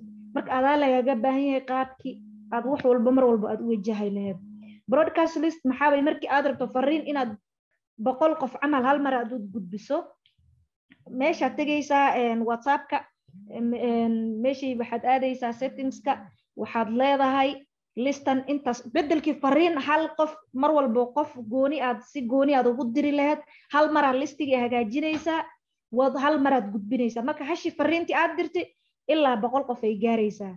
Communicationka aan ka hadlayna waxaabay fariimaha saqaabkaad u gudbinayso. Mar walbo la jir in aad si wanaagsan aad aad aad ka taxadartaa gudniinka waad garanaysaan wuxuu leeyahay qaab oo habboon oo ma arag si fariimaha loo gudbiyo. Haye next. Radioga waxaa u malaynaa radio aad iyo aad iyo aad iyo aad uu muhiim u yahay. Hadda hadda fir hadda fariintan campaignkan aan samayn rabno waxaa way my dear daughter. Radioga aad iyo aad uu muhiim ugu yahay. Waayo maamooyinka fariinta ay gudbinayaan waa messaging. Kalinta koowaad fariimaha ay gudbinayaan waa muhiim.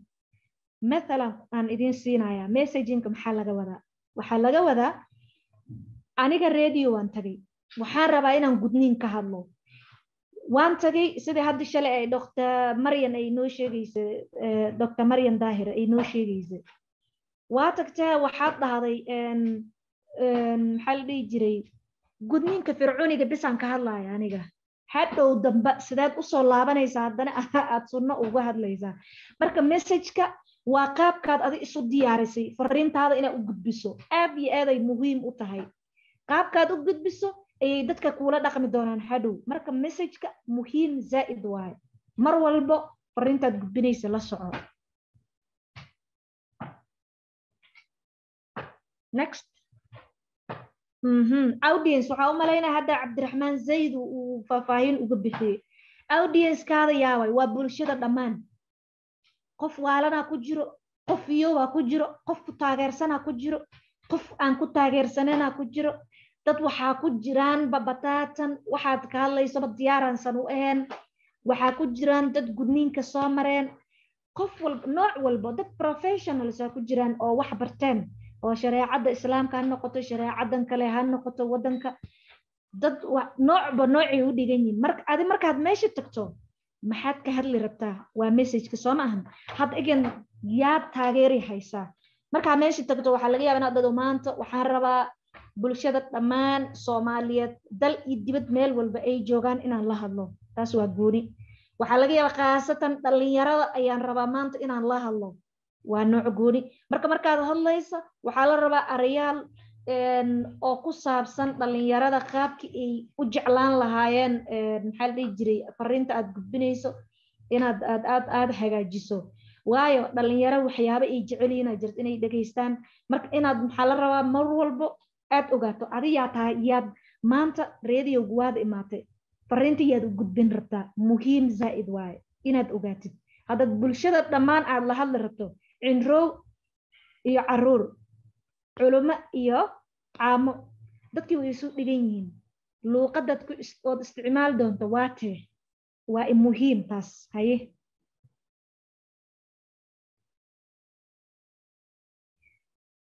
Airtimekan waxaa u malaynaa waa meesha hadda global media mar walbo aad u sabood garaysa maxaa la dhihi jiray dadka u ololeya ciribtirka gudniinka gabdhaha. Waxaa u malaynaya arrintan dad fara badan oo waxaa jiraan dhahaan marmar qaar radioga xitaa inuu free noqdaa laga yaabaa. Laakiin qofkii aad geynaysa meesha intaad geysid ma soo laabanaysid. Marka maxaa loo baahan yahay? Mar walbo inaad ogaatid. Radiogan ma lacagaa lii weydin doonaa? Aan ku hadlo. Mise horta waa iska hubinaysaa midda iyada mise lacagay u baahan yihiin hadday lacag u baahan yihiin markaas iyada waxaad codsi u dirsanaysaa global media si ay kaaga caawiyaan maxaa la dhihi jiray wixii ay weydiisteen haddii ay noqoto waxba laguma weydinaya waa ma aragtaa waa bilaash. Haddii lagu dhaha haddana waxay kugu qasbaysaa dadkii aad meesha geyni lahayd tigidkoodii tigidadoodii iyo maxaa la dhihi jiray waxaa laga yaabaa shahooda yar inay haddana ay kugu caawiyaan global media laakiin kolley naciime iyada hadhow faahfaahin inooga bixin doontaa qaabkii loo codsado maxaa la dhihi jiray? Lacagtaas global media. Next. Waa direct action grantsa la dhahaa. Middan waa influencers. Influencers yaa waaye. Waxaan u malaynaa cabdiraxmaan midda nafteed uu ka hadlay influencerskan waxaa waaye dadkii hadhow adig ku caawin doonaan si aad uga hadasha maxaa la jiray gudniinka. Waxaad qaadan kartaa qof dhakhtar ah oo hayo xogagta dhibaatada ay keenaysa gudniinka. Waxaad qaadan kartaa sheeyuuqda sida hadda ustaado faadumo oo kale aad wadan kartaa sheekh asagana oo taageersan arrimahan ciribtirka gudniinka gabdhahaad wadan kartaa. Waayo keliga haddaad tagto waa sidii hadda aad ka dhawaajiseen maxaa laga yaaba in la dhaho shilimi yar ee caddeen ka soo qaadatee wix bay bedeli rabtaa. Laakiin haddaad la tagto dadkan oo influencerski oo sida culimadoo kale dhakhaatiirka oo kale macalimiinta ayagana oo iskoolada waxbara dadkaas oo kale waad qaadan kartaa sida siyaasiyiinta oo kale. Siyaasiyiinta naftooda ayagaa ma aragta sharciyaha soo dejiyeen. Hadday meesha intay tagaan sharcigii ay bulshada wax uga sheegaan aad bay muhiim u tahay. Booliska oo kale waa wadan kartaa si iyagana sharciga uga hadlaan maxaa la jiray? Garsoorayaasha ayagana waa wadan kartaa marka dadkaasoo kale fariintii hadhow aad gudbin lahayd ay u noqonayaan ma aragtaa xoog weyn in ay saaraan. Sidii nin sheeqa loo dhegaysanaya waxaa laga yaabaa in lagu dhegaysan waayo. Marka midda iyada kaalmo weynay ku siinaysaa. Taageero weynna waad ka helaysaa. Confidenceka waxaa waa in aad isku filnaato. Horta adiga ma isku filan tahay. Qof oo ma arag is aaminsan oo fariimahan gudbin karo ma tahay. Radio waa tagtay. Qof maxaa la dhihi jiray? Fariimahaad gudbinayso qaabkaad u gudbinayso la dhagaysan karo oo mar walbo xiise loo qabi karo ma tahay. Saasaa la rabaa inaad mar walbo aad dadka xiise geliso oo la dhaho maanta alla ilaahay sacdiyabaa soo socotaa reediyoay ka hadli rabtaa waan dhegaysanaynaa haddaad confidence leedahay wax walba way kuu suurtoobayaan. Xitaa influencerska waa raadsan kartaa waayo adaaba isku kalsoon next. Middana aad iyo aad u muhiim ah middana ugu dambeysiiye sababto ah ha tegin radiowga ha tegin cadoon baaritaan samaynin oon xog hubin aad samaynin soomaali waxay dhahdaa hubsiino hal baa la siistaa. Waxaa laga yaabaa inaad wargeyn rabto aad leedahay gabar baa ma aragtaa la guday adigana xogba ma abad soo samaynin? Baaritaan ma aad samaynin? Radiowga tagta warkii adayse hadhow damba. Si aad dadkan haddana aad uga dhaadhiciso war wixii way iga noqdaan iga raalli ahaada. Dhaabac weyn ay ku geysanaysaa. Mar walbo gudniinka aad ka hadlayso. Maxaa la dhihi jiray? Bataatan dabargoynta gudniinka gabdhaha markaad ka hadlayso. Mar walbo xog raadi maxaa kuu qabsani karaa maxaad ka hadli kartaa maxaa hadal kaa daba imaanaynin? Haddii hadal ay imaadaan sideen ku xallin karaa adoo isku filan oo xog walba haysto oo baaritaan soo arooriyey laga yaabaa waddanka aad joogto meeqaa gabar oo u dhimata gudniinka xogta waad haysataa hadalna kaama daba imaanayaan. Qof hadhow inta ku soo hor istaago warbeen bay ku hadashay kuleeyi ma laha. Midaasna aad iyo aad ay muhiim u tahay. Aniga hadda aan kula hadlaya waxaan dhahay hadda radio aban tagayba waxaan dhahay ani afar tuulo ayaa maanta hadda gudniin samaynaynin bataatan gabdhahana ku nool si wanaagsan oo sharaf leh ay ku nool yihiin. Berri waa liiga daba imaada waxaa la sacdio he oo tuulooyinkanaad sheegaysa waa kube waa inaan geeyaa waa inaan hubo. Anooba radio joogaa laga yaaba in liisoo baxo. Sacdio he tuulooyinka bal noo sheeg waa inaan sheegi karoon dhaho waa tuule hebel waa tuule hebel waa tuule hebel. Ma garate xogta aad iyo aad ay muhiim u tahay.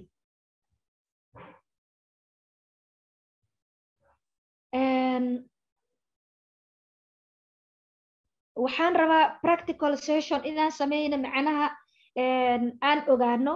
Hadda telefonkaada qaada telefonkaada qaada sabir iska qaad ku dir twitterka. Waxaad leedahay horta waxaad waxaad raacaysaa g m c waad arka hadda sida shaashada kuu saaran waa taagereynaysaa marka. Markaad dirtid maxaa la dhihi jiray? Sabirka markaa iska qaadid waxaad leedahay maanta tababaraan ku jirnay of media to end f g m g m c na waa taagereynaysaa hadda bal aan aragno intii qof oo soo taageerayso g m c intii qof oo hashtagan isticmaasho. Anigana waan gelayaa twitterka si aan u ogaado in aad wixii aan idiin sheegay aad fahanteen iyo in kale. Xitaa laba aray waa ku dari kartaa. Waxaad leedahay tababar fiicanaan qaadane g m c aad baa u mahadsantihiinaa qori kartaan. Af soomaali waa ku diri kartaan af ingiriis waa ku qori kartaan. Marka anigana waa la soconayaa hashtaggaasaan tegaya waa ogaanayaa intii qof oo ma aragtaa g m c taageeraysay meeshaan ka arkaya insha allahu tacaala taas lagu jira sacdiya aad ay umahadsan tahay hawshaas intaan wadno waxay la tahay screenka oo kale maybe si sawir social media loo adeegsan karo loo helo kaamerooyinka inaan wada furno kadibna aan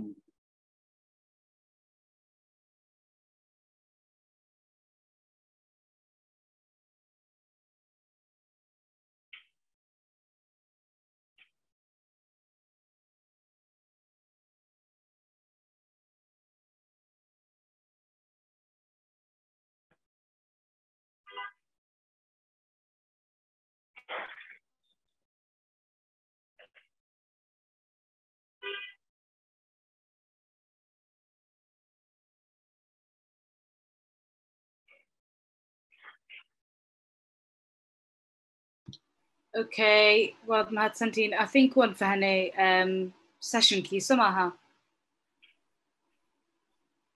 Because waqtigana uu nagu yarahay waxaan siinayna let's give each other five minutes shan minute aan sisiino sawirkan qaadano and follow garayna GMC and um, hash- qof waa dadka twitter leh hortan hubino how many people gacanta taag hadaad twitter leedahay ama facebook ke- tee baad isticmaashaan i think that's a good question horta halkan ku bilowno um, give someone a you chance know, to Naima, speak even if they take the picture and they send on WhatsApp. Yes, and that's if a they good don't idea. Have, yes. And then if you don't have هداها uh, Twitter, please facebook soo geli global media campaign facebook way leedahay ifra foundation taga ku soo dhihi kartaa ifra axmedna taga ku soo dhihi kartaa ha iloobin inaa whatsapp groupka nagala soo xiriirtaan insha allah waad mahadsantay ifraax um, dr xayaat ama dr yusuf. Dr yusuf khalif. Gacantaad taagtay so markaa chance ma dooni ku siiyo inaad hadashid adigoo raaliya cima midda kale maqribkaa dhow moogtahay soomaaliya waa bal oh waa sax waan ku fahmay waan fahmay haddaba it's up to you. Should we close the meeting? ama waxaan doon intaanan close garaynin inaan whatsapp group inaan um, chat boxka soo dhigo si aan kulligeen aan aan xiriirkeena sii wadno uh, sacdiye waxay sheegtay uh, ifraaxba waxay ka tilmaamtay global media campaign grant yar yar bay bixisaa oo la yiraahdo direct action grants oo ay ku caawinayso journalistka iyo activistka iyo qof kasta oo doonaya inuu um, ka hadlo fgm-ka um, ama fikir cusub keenaya ama ideas cusub keenaya inay ama radioga ha ka noqoto ama um, tv-ga ha ka noqoto ama even like social media campaign haddii doonaya inay bilaabaan ha noqoto.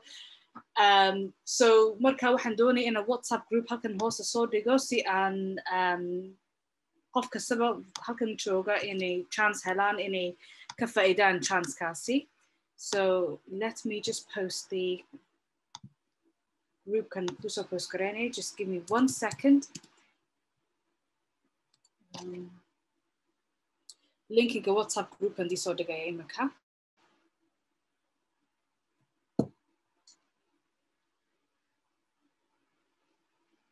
one second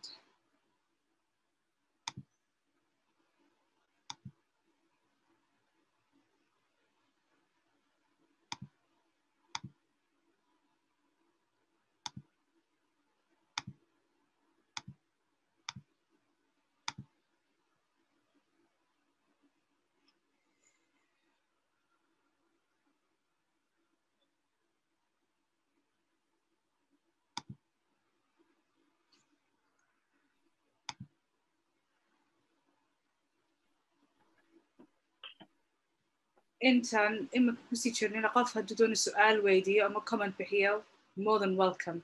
intaan groupka intaan hagaajinayo uh, so give me one few minutes. I just need a few minutes. My computer's messing up. Sorry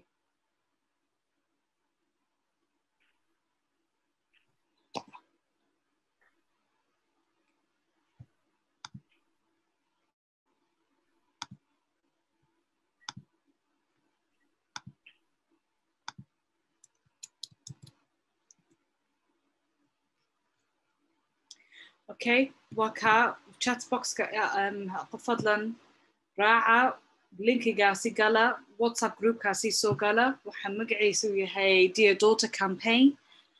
Waxyaabahan ka wada hadalnay shalay iyo maantana waan hawshaasina waan sii wadaynaa uh, qof kasta soo galay maxay ahayd ama soo geli kari waayena waxaan u soo dirayna all of the maxay ahayd resources all of the slides iyo maxay ahayd cashiruhu noo dhigay cabdiraxmaan iyo sacdiya uh, iyo recordingka videoyahan aan maanta sameynay. Kulli waan diisoo wada dirayna insha allah okay insha allah aad iyo aad aa umahadsan tahay.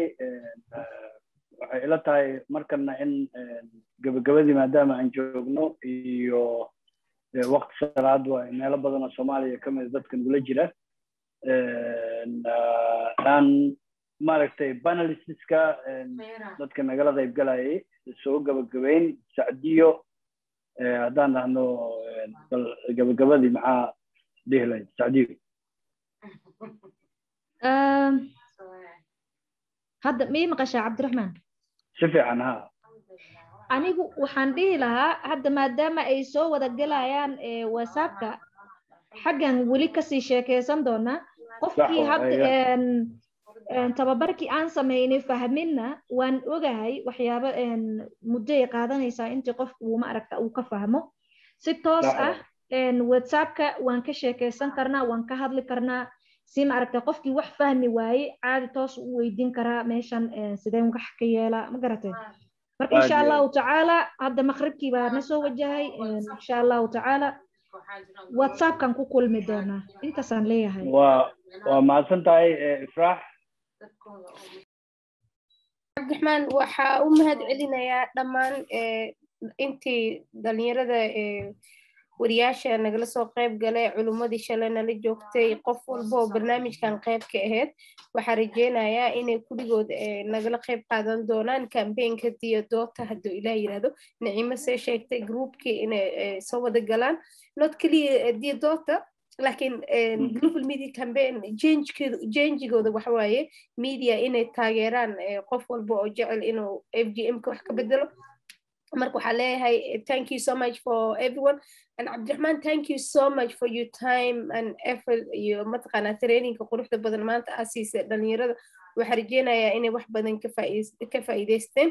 Waxaa u mahad celinayaa jermaine nacimo global media campaign. Thank you all for this amazing two days um, trainingka. Insha allah waxaa rajeynayaa qof walba oo ka faa'iidaystay inuu mataqaanaa oo qayb ka noqon doono een, olo olaha thank you aada umahadsan tahay. Ifraax anigana maaragtay aada umahadsantihiin aan leeyahay. Intaan ima ku wareejinin.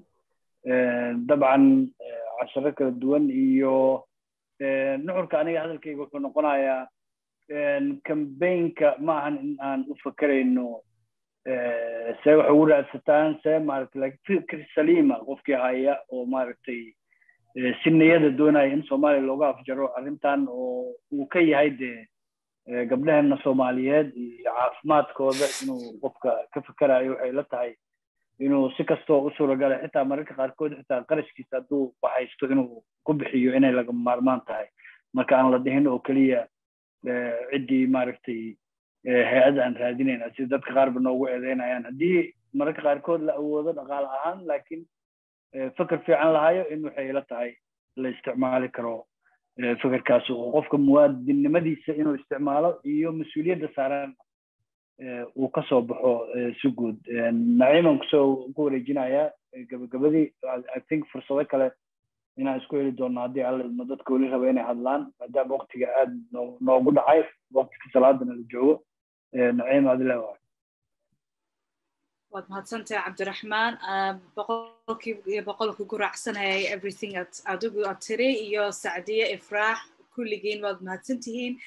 And qof kasta nagala soo qayb galay maantana iyo shalay waad mahadsantihiin. Qof dadka facebook nagala soo galayna aad ud mahadsantihiin.